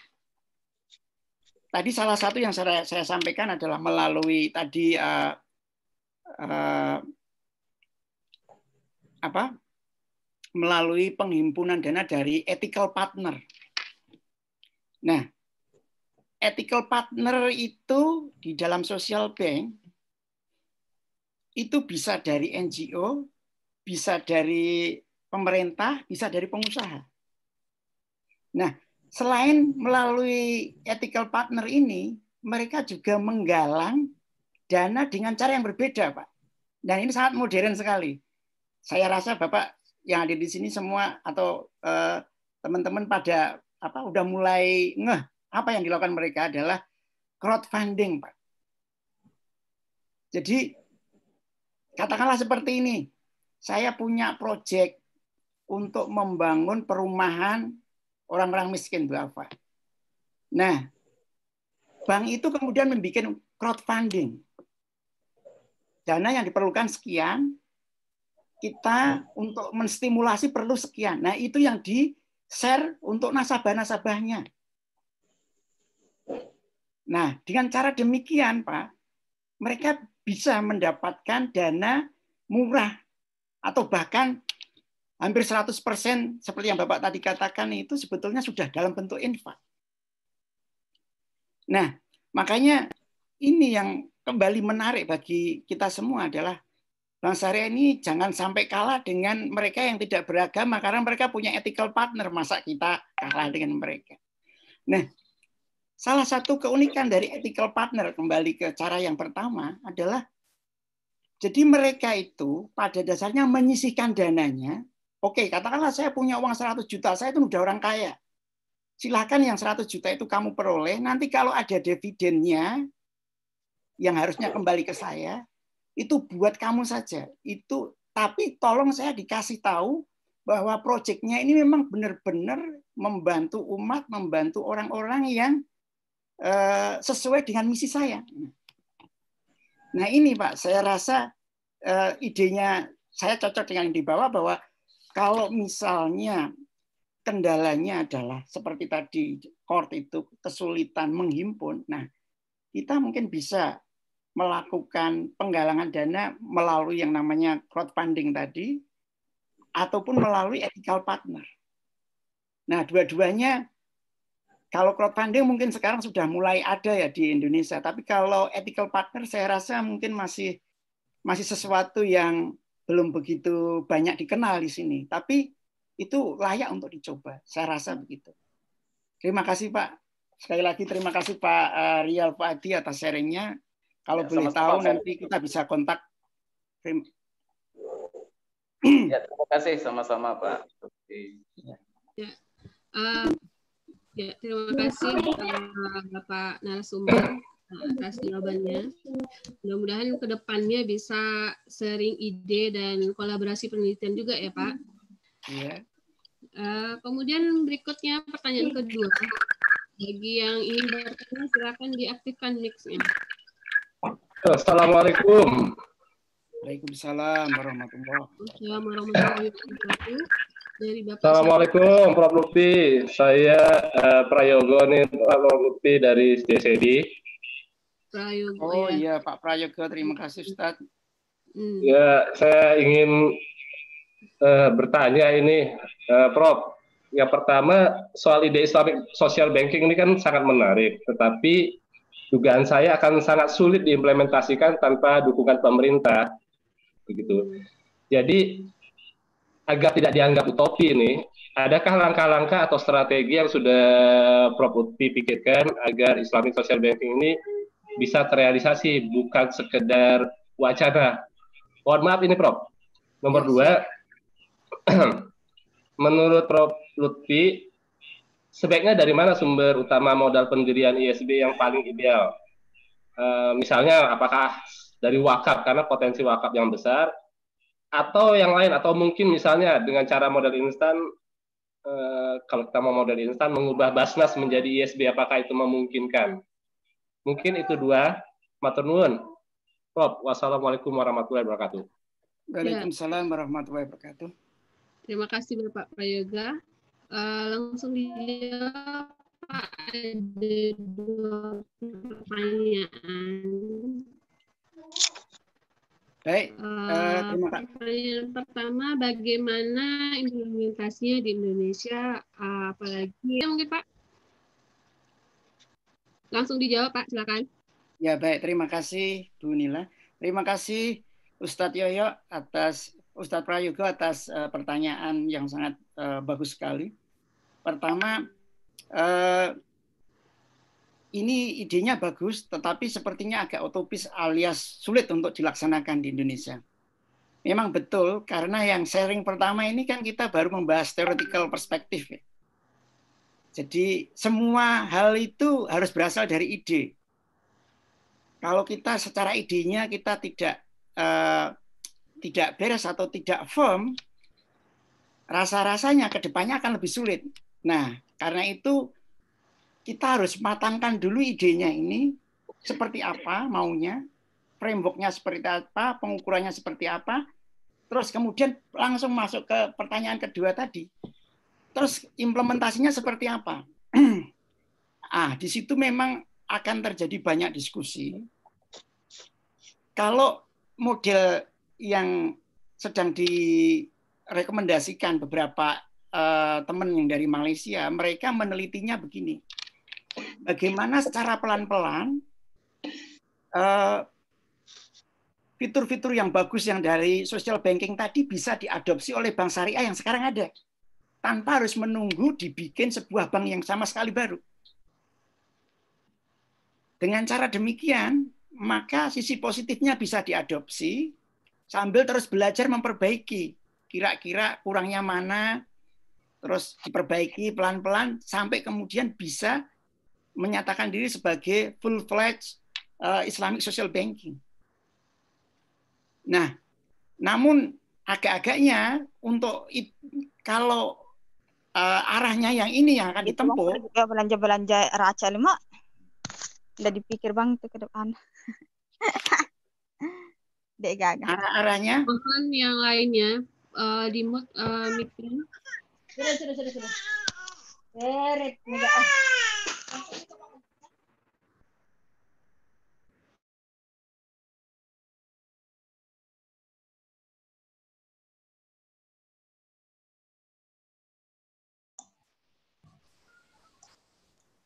Pak Lutfi masih Bapak mute, Pak. Lutfi aktifkan lagi mic-nya, Pak.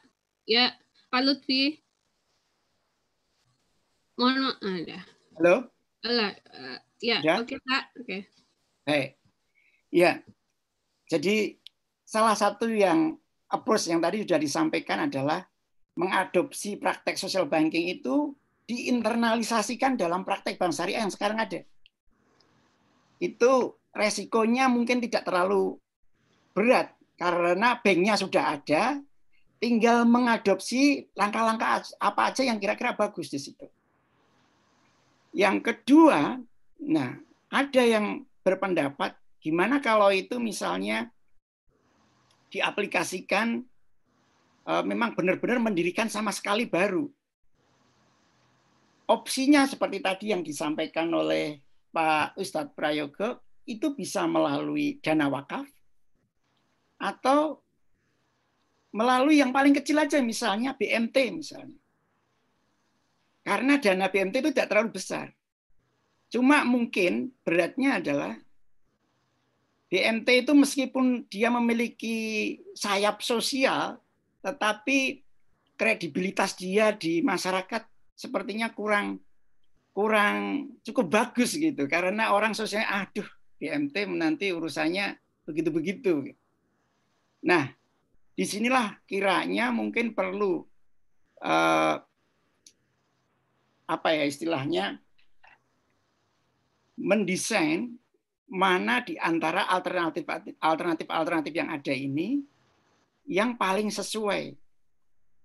Memang ide seperti wakaf bank itu sudah bukan sesuatu yang baru di Malaysia di tempat kita juga sudah dibahas panjang lebar meskipun sampai sekarang eh, implementasinya belum belum seperti yang kita harapkan. Namun saya yakin ke depannya rasa-rasanya kalau kita memang sudah uh, confirm bahwa kita memiliki komitmen untuk memperbaiki sisi sosial ini, pilihan-pilihan yang ada di meja itu bisa kita ambil. Apakah dengan yang tadi disebutkan dengan dana wakaf, apakah dengan Basnas menyisikan dananya sendiri dan sebagainya, itu adalah gagasan yang menarik. Dengan demikian nanti eh, para pengelola Islamic Social Banking itu memang benar-benar bisa sepenuh hati mengelola dana untuk dimensi sosial maupun environmental tanpa dibayangi perasaan bahwa wah nanti kalau bank ini bermasalah dengan finansial bagaimana. Tapi tetap harus mempertimbangkan sisi sustainability-nya.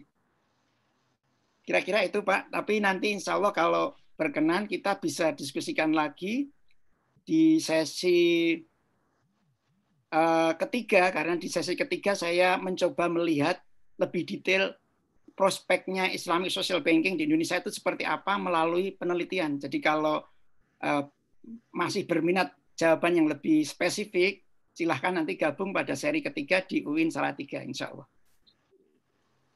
Terima kasih, Mbak uh, narasumber. Uh, berikutnya, jadi kalau untuk informasi lebih lanjutnya harus ikut semua serinya mungkin ya Pak? Direkomendasikan Mbak. Nah, iya.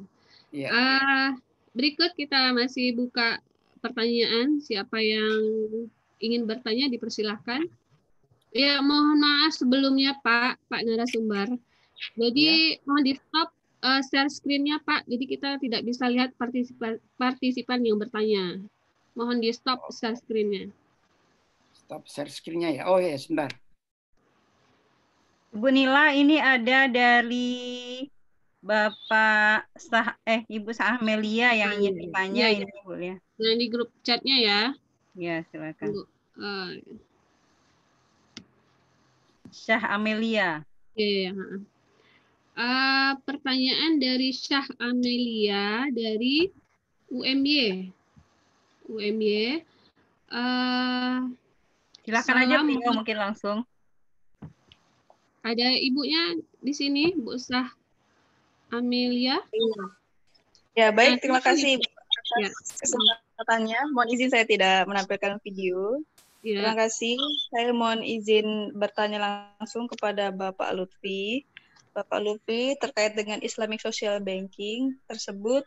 Eh, lalu eh, yang ingin saya tanyakan adalah bagaimana aplikasinya seperti kur syariah yang diterapkan oleh perbankan syariah oleh salah satu perbankan di Indonesia dan sebelumnya juga ada beberapa bank syariah yang sudah menerapkan kur syariah kaitannya dengan uh, dengan uh, kaitannya dengan ide yang Bapak sampaikan katanya dengan seperti rate yang lebih murah seperti itu Pak.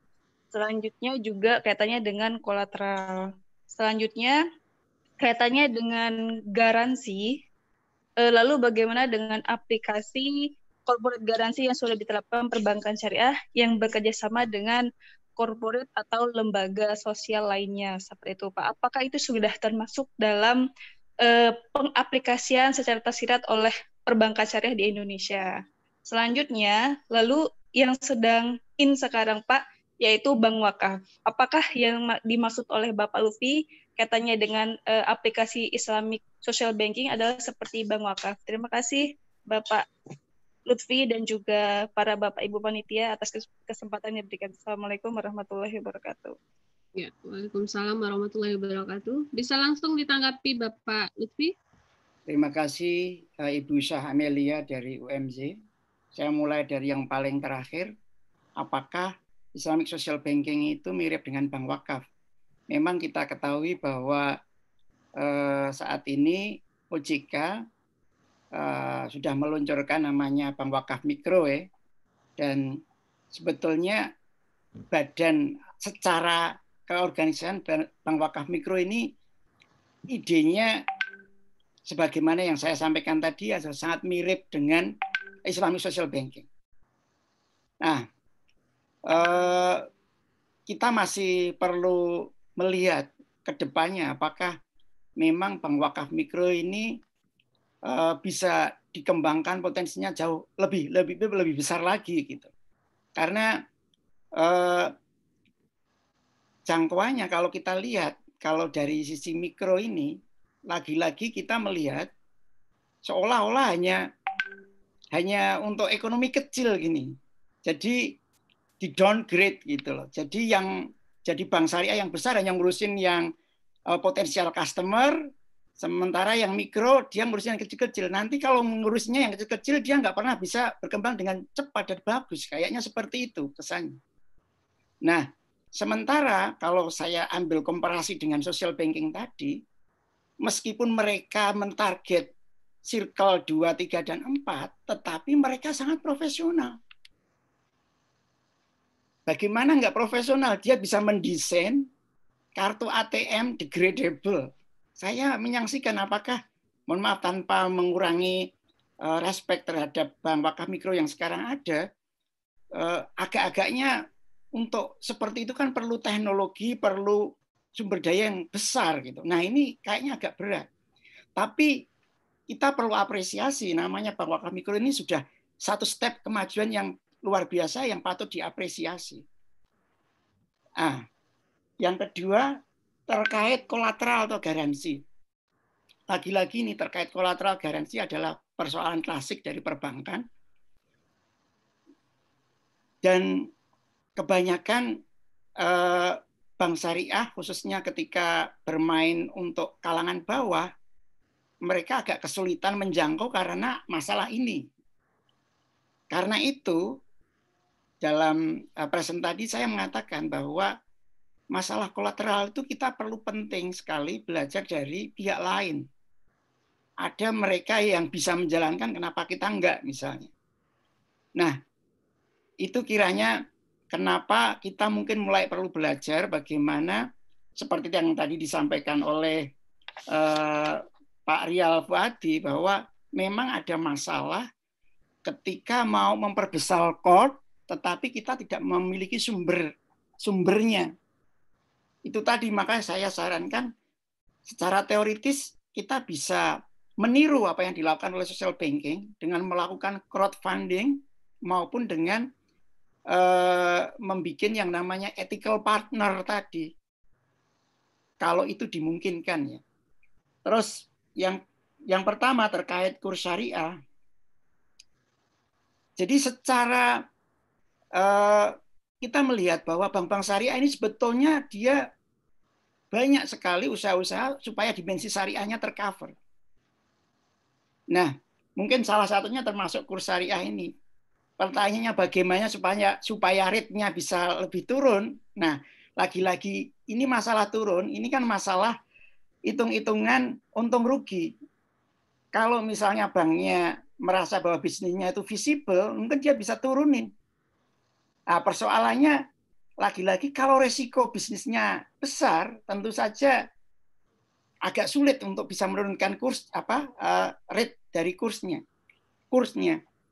Di sinilah uh, mungkin diperlukan sekali lagi seandainya uh, bank-bank syariah ini mulai berpikir uh, untuk menggunakan metode yang agak berbeda tadi, out of the box tadi, mungkin itu bisa banyak bermanfaat di dimensinya ketika kita mencoba menggunakannya misalnya untuk uh, untuk menurunkan kurs syariah tadi rate dari kurs syariah tadi, bikin kolateral, maupun untuk kegiatan-kegiatan lain yang dimensi sosial kemasyarakatannya akan lebih banyak dan lebih bermanfaat.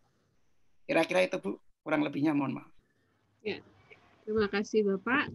Uh, selanjutnya mungkin ada tanggapan atau pertanyaan dari Bapak Wawan Sugiyarto dari praktisi ini ya Pak, dari Kemenkel. Silakan Bapak. Yes. Yes. Assalamualaikum warahmatullahi wabarakatuh. Waalaikumsalam warahmatullahi wabarakatuh. Ya, terima kasih atas kesempatannya Ibu. Nih, mohon izin. Ya, ya. Langsung Pak. Ini, ini guru saya ini di Australia ini, Bu. Oh ya. Iya. Reunian berarti ya, Pak? Iya, reunian. Ini yang terkait dengan salah satu problem secara teoretikal yang saya lihat adalah terkait dengan biaya Pak Kiai Pak Lufi nih dengan cost ini nggih. Uh, kalau secara teoretikal tadi kan sudah disampaikan juga terkait dengan barangkali kalau untuk menurunkan biaya ini menurunkan biaya ini adalah dengan kombinasi dengan pendanaan. Bisa dari wakaf atau dari crowdfunding. Ini Pak Kiai ya. Kalau hal itu misalkan di pilot project kan misalkan untuk satu komunitas tertentu dulu misalkan Pak Kiai supaya uh, ada semacam laborat pilotnya itu kalau secara teoretikal bagaimana Pak Kiai ke, ke depannya itu barangkali? Karena kalau saya melihat di konteks sosial sosial masyarakat kita ini uh, kalau sudah ada contoh suksesnya itu lebih mudah untuk memberikan uh, apa ya memberikan semacam uh, pen, faktor pendorong yang lain-lain ikut ikut serta turun untuk mencoba itu. Itu yang pertama. Kemudian yang kedua yang terkait tadi dengan segmentasi tadi tadi sangat menarik apa yang disampaikan oleh Pak Kiai bahwa memang salah satu kendala di konsepnya bank wakaf mikro adalah terkait dengan segmentasi. Sebenarnya bukan bank wakaf mikro, tapi sebenarnya bank wakaf ultra mikro karena memang uh, dari besaran pembiayaan yang saya relatif sangat kecil. Uh, apakah si Islamic Social Banking ini secara teoretikal, artinya secara framework ini lebih baik dari yang kecil dulu, atau memang semua outlet itu semua segmen itu dibuka, Pak Kiai? Kemudian yang ketiga Pak Kiai terkait dengan ini yang ini salah satu kelemahan di bank konsepnya bank wakaf mikro adalah terkait dengan uh, persentase sekian dari modal modal dari wakaf itu ditempatkan di depositinya bank syariah sebagai penjamin sebagai uh, apa uh, jaminan untuk biaya operasional sehari-hari. Uh, kalau barangkali secara teoretikal ada opsi lain nggak Pak Kiai? Misalkan untuk misalkan apakah uh, ada literatur lain yang bisa kita pakai, misalkan beli aset, kemudian asetnya disewakan, kemudian imbal hasil sewa per bulan ini yang bisa digunakan sebagai pengganti biaya operasional. Karena salah satu kendala lagi-lagi kalau skupnya mikro adalah terkait dengan tingkat biaya yang harus ditanggung oleh para nasabah nanti pada ujungnya. Barangkali itu dulu Pak Kiai Lutfi. Terima kasih, sukses. Terima kasih Ibu. Ya, terima kasih Pak. Langsung ditanggapi Bapak, Pak Lutfi. Ya, terima kasih. Terima kasih uh, Bapak Wawan. Beliau ini sebetulnya adalah guru saya di, di bidang ekonometrik nih. Beliau mm -hmm. sangat ahli di bidang itu. Dan yeah. beliau penulis yang sangat populer di Republika terkait untuk urusan bank wakaf mikro. Mm. Jadi sangat tepat sekali sebetulnya beliau ini pura-pura bertanya sebetulnya yang ingin disampaikan, yang ingin di-share kepada kita semua di sini adalah suatu yang sangat luar biasa yang tidak saya pikirkan sebelumnya. Pertama adalah gimana kalau kita bikin pilot project. Saya saya rasa ini gagasan yang menarik ini. Jadi barangkali ini nanti dulu-duluan nih UIN Padang atau lembaga yang lain mau bikin project ini kita bisa siapkan ini. Kenapa? Karena ini dimensinya banyak sekali. Kalau misalnya ini, mohon maaf, dengan asumsi kayak Basnas, mungkin selama ini mungkin pembiayaan atau pengucuran uh, distribusi zakatnya mungkin hanya untuk sifatnya uh, yang sementara ada itu mungkin tidak uh, saya boleh katakan masih belum variasi gitu, belum variatif. Nah, kalau ini proyek ini dijadikan sebagai sebuah proyek unggulan dengan A dengan asumsi bahwa oh kita coba alokasikan sekian dana kemudian dana itu diterapkan untuk komunitas tertentu, yang sudah kita tahu, kita pilih, nah kita akan lihat gimana nanti prospeknya. Jadi kalau itu bisa, ini akan menjadi laboratorium benar, laboratorium mikro tentang uh, embrio dari Islamic social banking yang sebenarnya. Saya sangat setuju ini dilakukan. Kenapa? Karena kalau saya melihat tadi sekaligus untuk menjawab pertanyaan kedua, kalau kita melihat uh, bank wakaf mikro ini sudah sangat terlalu ultra mikro karena pinjamannya sangat kecil sekali. Boleh boleh boleh jadi hanya keperluan untuk konsumsi dimakan sekali habis bukan untuk capital untuk membiayai bisnis gitu. Jadi agak sulit untuk mengharapkan itu memberikan dampak sosial dan ekonomi yang luar biasa besar bagi lingkungan.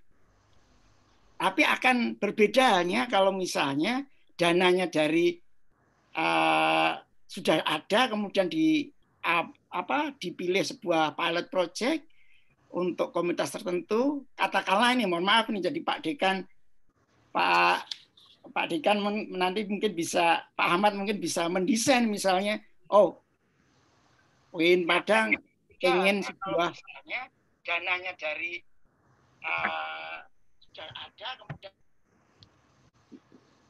ya, silakan Pak. Ya.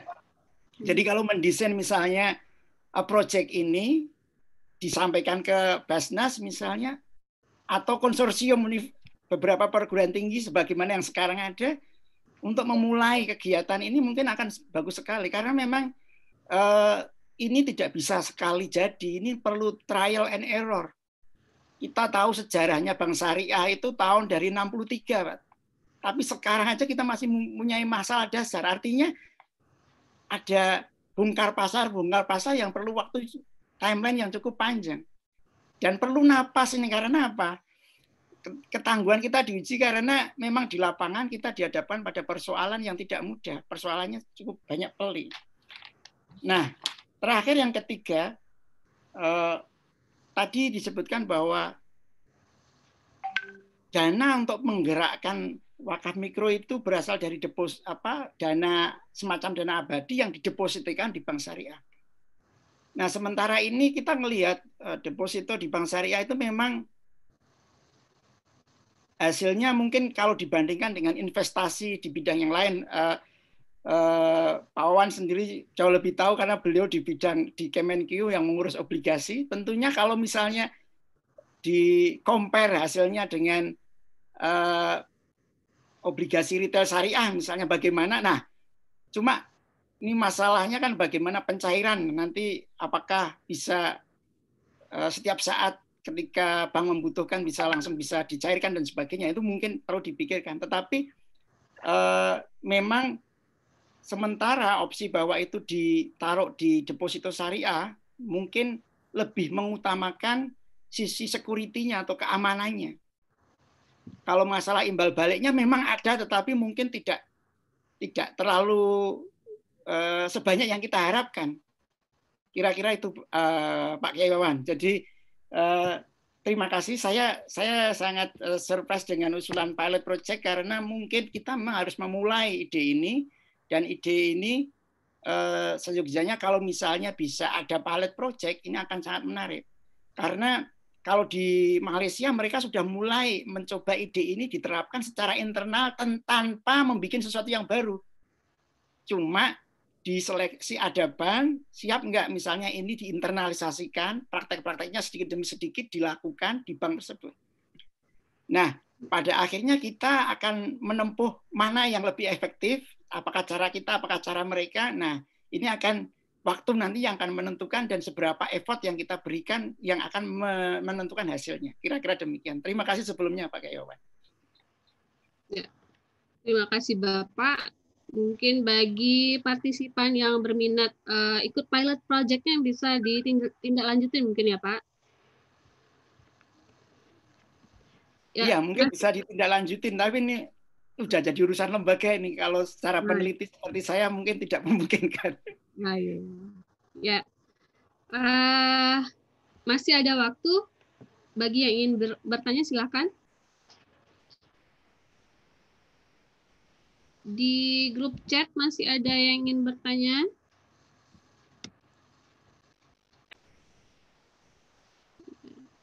Uh, mungkin cukup Ibu Nila. Nah, cukup ya. Uh, mungkin cukup. Uh, sudah banyak sekali uh, pertanyaan dan di, langsung ditanggapi oleh Bapak narasumber kita. Ada beberapa poin penting yang mungkin bisa kita ambil dari diskusi dan riset sharing Bapak uh, Hamidi tadi. Poin penting yang pertama, uh, bahwa praktek uh, Islamic banking uh, pada saat sekarang ini belum dapat memaksimalkan uh, dan meningkatkan kesejahteraan ekonomi terutama masyarakat uh, menengah ke bawah. Kemudian social banking uh, merupakan bank yang mampu memenuhi kedua aspek baik ekonomi maupun non ekonomi. Uh, kemudian beliau merekomendasikan adanya opsi untuk uh, mensukseskan peran Islamic banking dengan membentuk uh, Islamic social banking. Nah, Islamic social banking ini berjalan di bawah kerangka bottom line framework. Nah, begitu kira-kira ya. Nah, untuk uh, mengakhiri acara sharing riset uh, kita pada hari ini, kita minta kepada Bapak narasumber kita untuk memberikan Closing statement, Bapak. Kepada Bapak kami persilakan. Terima kasih. Uh, terima kasih sekali lagi kepada seluruh sivitas akademika di UIN Imam Bonjol Padang, seluruh uh, peserta diskusi dari uh, beberapa universitas maupun perguruan tinggi yang sudah aktif ikut sharing di sini adalah suatu kehormatan bagi saya menyampaikan sharing session ini dan sangat berterima kasih atas masukan-masukan yang sangat berharga. Uh, ke depannya kita masih melihat pembuktian memang apakah ide Islam social banking ini patut untuk dikembangkan. Karena tadi ada pertanyaan mendasar uh, bahwa kenapa harus bikin Islamic social banking? Tidak cukupkah dengan Islamic banking yang sekarang ada? Nah, memang di situ perlu ada pembuktian bahwa memang bank syariah ini apakah tingkat sosialnya bagus apa belum. Nah, itulah nanti insya Allah yang akan saya jawab di sesi uh, sharing session kedua yang akan di-host oleh Sebi. Mudah-mudahan kita semua bisa turut hadir dan memberikan masukan-masukannya sebagaimana yang sudah dilakukan pada sharing session uh, kali ini. Uh, terakhir saya ingin menyampaikan sekali lagi terima kasih saya kepada semua yang hadir dan memberikan masukan. Kita melihat bahwa eh, satu ide ini mungkin sederhana, tetapi kalau kita niatkan bahwa ide ini social banking ini kerangkanya saya ambil dari Quran. Mudah-mudahan itu memang benar-benar yang dimaksudkan Quran karena mungkin karena saya bukan penafsir atau ahli tafsir sehingga mudah-mudahan ketika kita berpijak pada framework yang sudah benar, insya Allah di kemudian hari memang itu akan membawa keberkahan, membawa kebaikan, membawa perbaikan bagi bank syariah yang sangat, yang sangat kita cintai bersama ini untuk lebih berkembang dan lebih memiliki masa depan lebih sustainable dan akhirnya memenuhi harapan ideal sebagai bank yang dicintai masyarakat. Kurang lebihnya Mohon maaf apabila taufik wal. Wassalamualaikum warahmatullahi wabarakatuh. Ya, Waalaikumsalam warahmatullahi wabarakatuh. Uh, dengan demikian berakhir uh, sudah acara webinar seri 1 uh, dalam rangka riset sharing dari Bapak narasumber kita, Emutfi Hamidi. Untuk selanjutnya tidak lupa saya ingatkan kembali Uh, seri berikutnya yang akan di-host oleh TCB akan dilaksanakan pada hari Senin tanggal 10 Agustus. Uh, jam berapa? Jam jam 9 kalau nggak salah ya. Nanti kita sharing uh, postdiknya di grup uh, apa grup chat WA nanti. Uh, kemudian terima kasih saya ucapkan kepada Bapak narasumber kita yang telah berbagi ilmunya kepada kita bersama. Kemudian terima kasih juga kepada perguruan tinggi yang telah mendukung uh, acara webinar ini, TCB, uh, eh, Fakultas Ekonomi Bisnis Universitas Diponegoro, kemudian Fakultas Ekonomi Bisnis Islam IAIN Salatiga, dan juga kepada Griffith University ya Pak. Kemudian uh, program 5000 dokter Kemenak RI. Uh, selanjutnya saya juga berterima kasih kepada partisipan yang sudah uh, bersedia hadir dalam acara uh, kita pada kali ini. Mohon maaf atas segala kekilafan. Uh, kemudian untuk menutup uh, acara ini kita minta closing ceremony oleh Bapak uh, Dekan kita, Bapak Haji Ahmad Wira, PhD. Kita persilakan dengan hormat. Bismillahirrahmanirrahim. Assalamualaikum warahmatullahi wabarakatuh. Yang sama kita hormati Bapak MBI Hamidi, kemudian Bapak dan Ibu Sivitas Akademi Fakultas Ekonomi dan Bisnis Islam UIN Imam Padang, ada Bu Rosalinda sebagai Wakil Dekan 3, Bu Yenti Afrida dan Bapak Ibu dosen, dan terima kepada Bu Nila Mardiah yang telah mau mengatur jalannya uh, webinar ini dengan uh, sangat luar biasa sekali. Kemudian juga kepada Bapak Dekan UIN Sultan Taha, Pak uh, I, sahabat kita yang selalu berkomunikasi dalam rangka untuk membesarkan uh, UIN, uh, Fakultas Ekonomi dan Bisnis Islam. Dan hadir juga saya lihat Dekan Pak Fatur Rahman Azhari, ini dari Pontianak nih Pak Rofi. Jadi, oh, iya, uh, uh. Banjarmasin Pak, Banjarmasin. Oh, sorry, Banjarmasin, sorry Pak, Banjarmasin Pak uh, Lutfi. Jadi, uh, Alhamdulillah, saya lihat dari dada juga Pak Wawan yang dari Departemen Keuangan, dan mudah-mudahan tentu saya melihat uh, beberapa hal yang sangat menarik. Pertama Pak Lutfi, uh, bahwa ide dalam mengembangkan uh, bank sosial ini, Islamic Social Banking, tentu ini adalah sebuah ide yang memang secara matang kita buat dan kita bikin. Lalu saya sangat setuju apa yang disampaikan oleh Pak eh, Lutfi tadi, bagaimana kita membuat eh, pilot project untuk satu pengembangan ini. Karena saya yakin di tengah-tengah masyarakat juga sudah sebenarnya sudah berkembang hal-hal seperti ini yang dia berbasis komunitas. Nah, terus terang kami informasikan juga ada juga eh, beberapa komunitas yang menghimpun dana lalu dia bagikan dan dia bisa memberantas rentenir dan lain sebagainya. Nah, ini kan model-model yang praktek-praktek yang dilakukan. Nah, salah satunya kami kemarin risetnya di daerah Solo, dia berhasil menghimpun dana dengan dapat dibagikan dalam bentuk modal tanpa harus uh, ada bunga dan lain sebagainya. Maka ini adalah satu yang model yang kita kembangkan.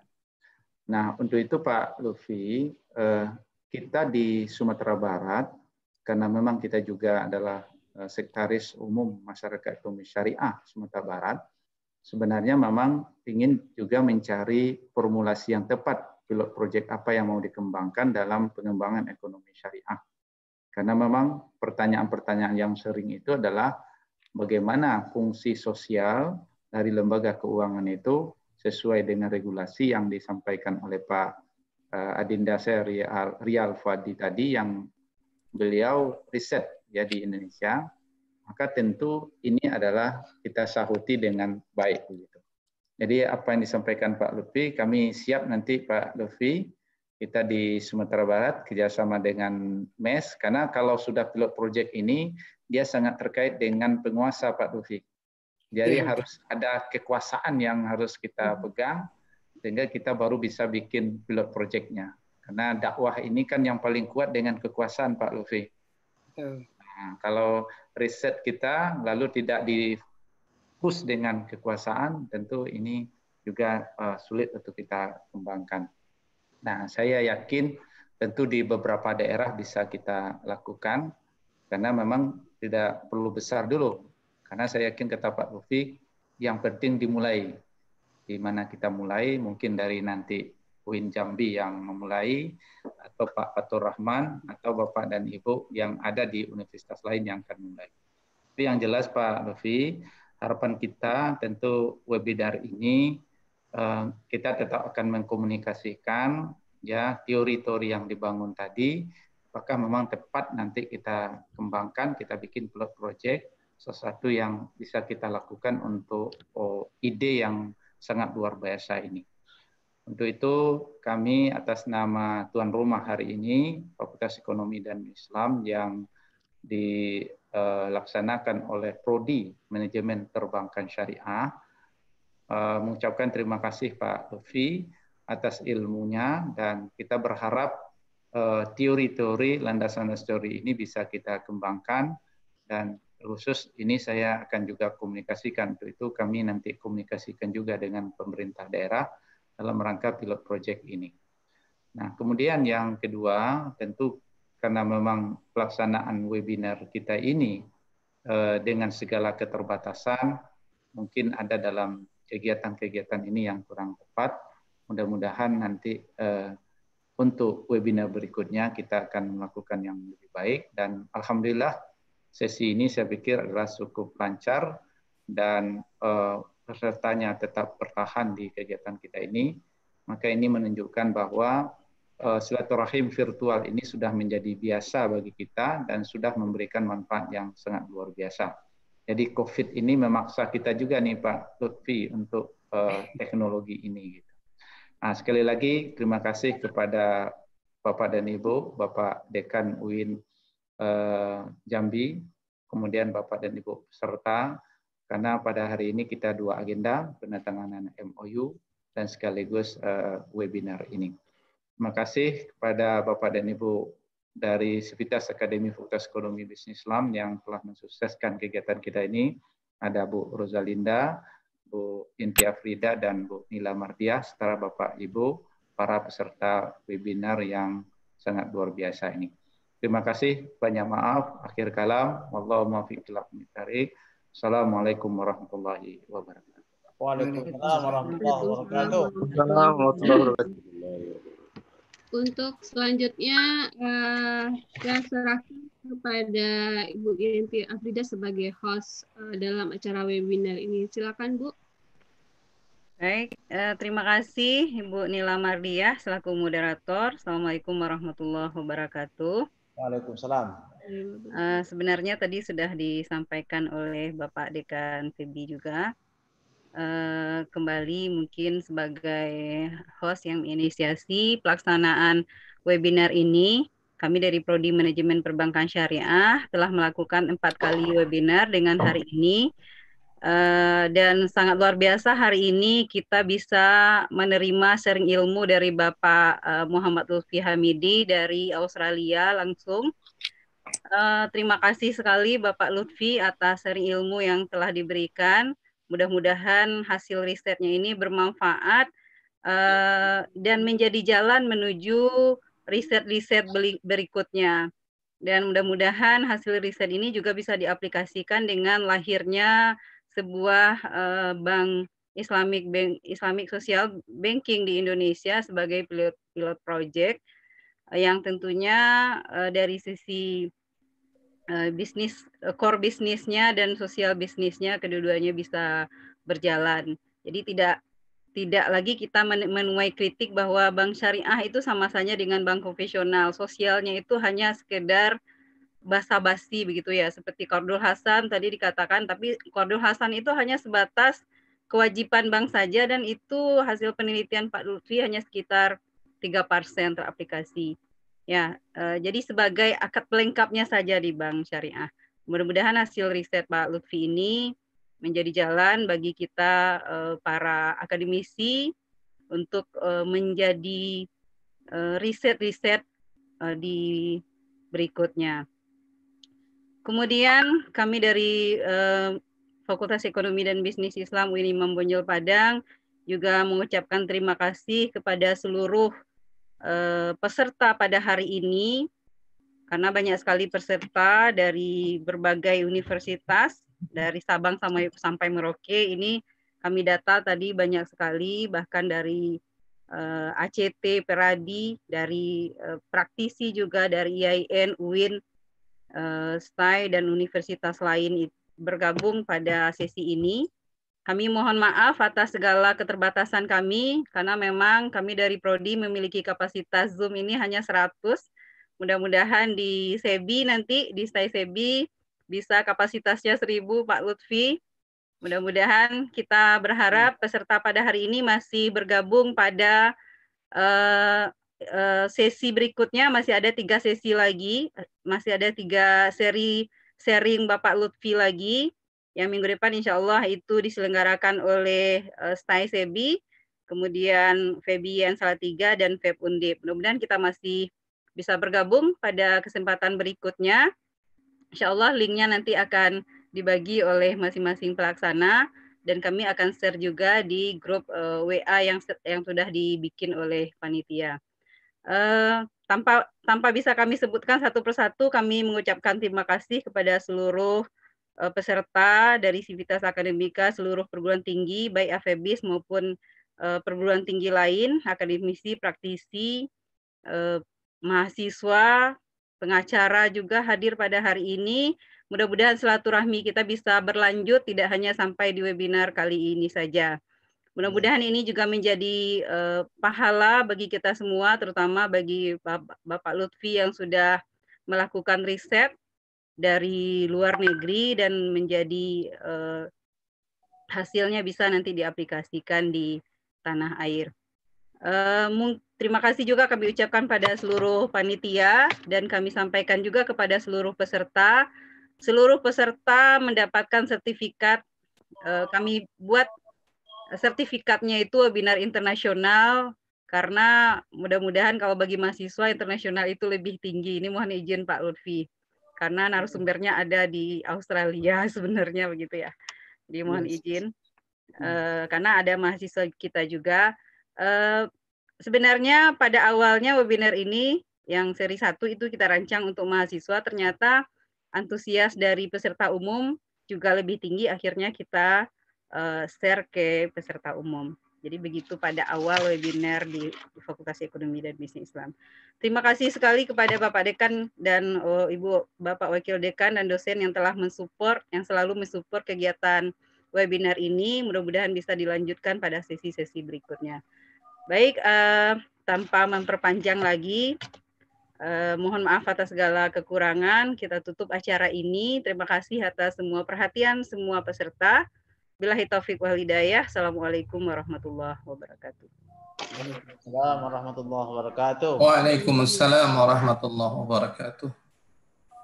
Baik, terima kasih Pak Lutfi. Assalamualaikum warahmatullahi wabarakatuh. Terima kasih banyak. Terima kasih Bapak Ibu semua peserta. Bapak dekan-dekan juga hadir pada kesempatan kali ini. Terima kasih yang tidak tersapa satu persatu Bapak Ibu. Mohon maaf. Ibu. Terima kasih. Assalamualaikum dari Brisbane. Insya Allah ya, ketemu makasih. lagi di episode berikutnya. Assalamualaikum warahmatullahi wabarakatuh. Terima kasih Pak Lufi. Waalaikumsalam warahmatullahi wabarakatuh. Pak Miftah, dekan Jambi, Pak Sucipto, WD3. Ya, terima kasih banyak Ibu. Terima kasih banyak. Ya. Terima kasih Pak Wira, terima kasih. Oh, siap Pak Dekan. Ya, terima kasih Pak Dekan. Kasih, ya. Ya, oke. Okay. Yuk, izin ya. Ya, silakan. Ya, Assalamualaikum. Assalamualaikum warahmatullahi wabarakatuh. Ya, Pak Sucipto. Ya, Pak. Assalamualaikum semua. Ya, Pak Wira. Terima kasih. Ya.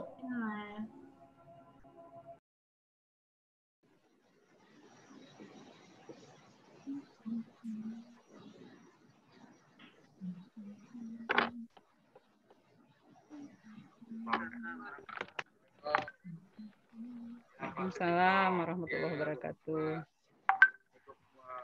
Ya, terima kasih. Ya.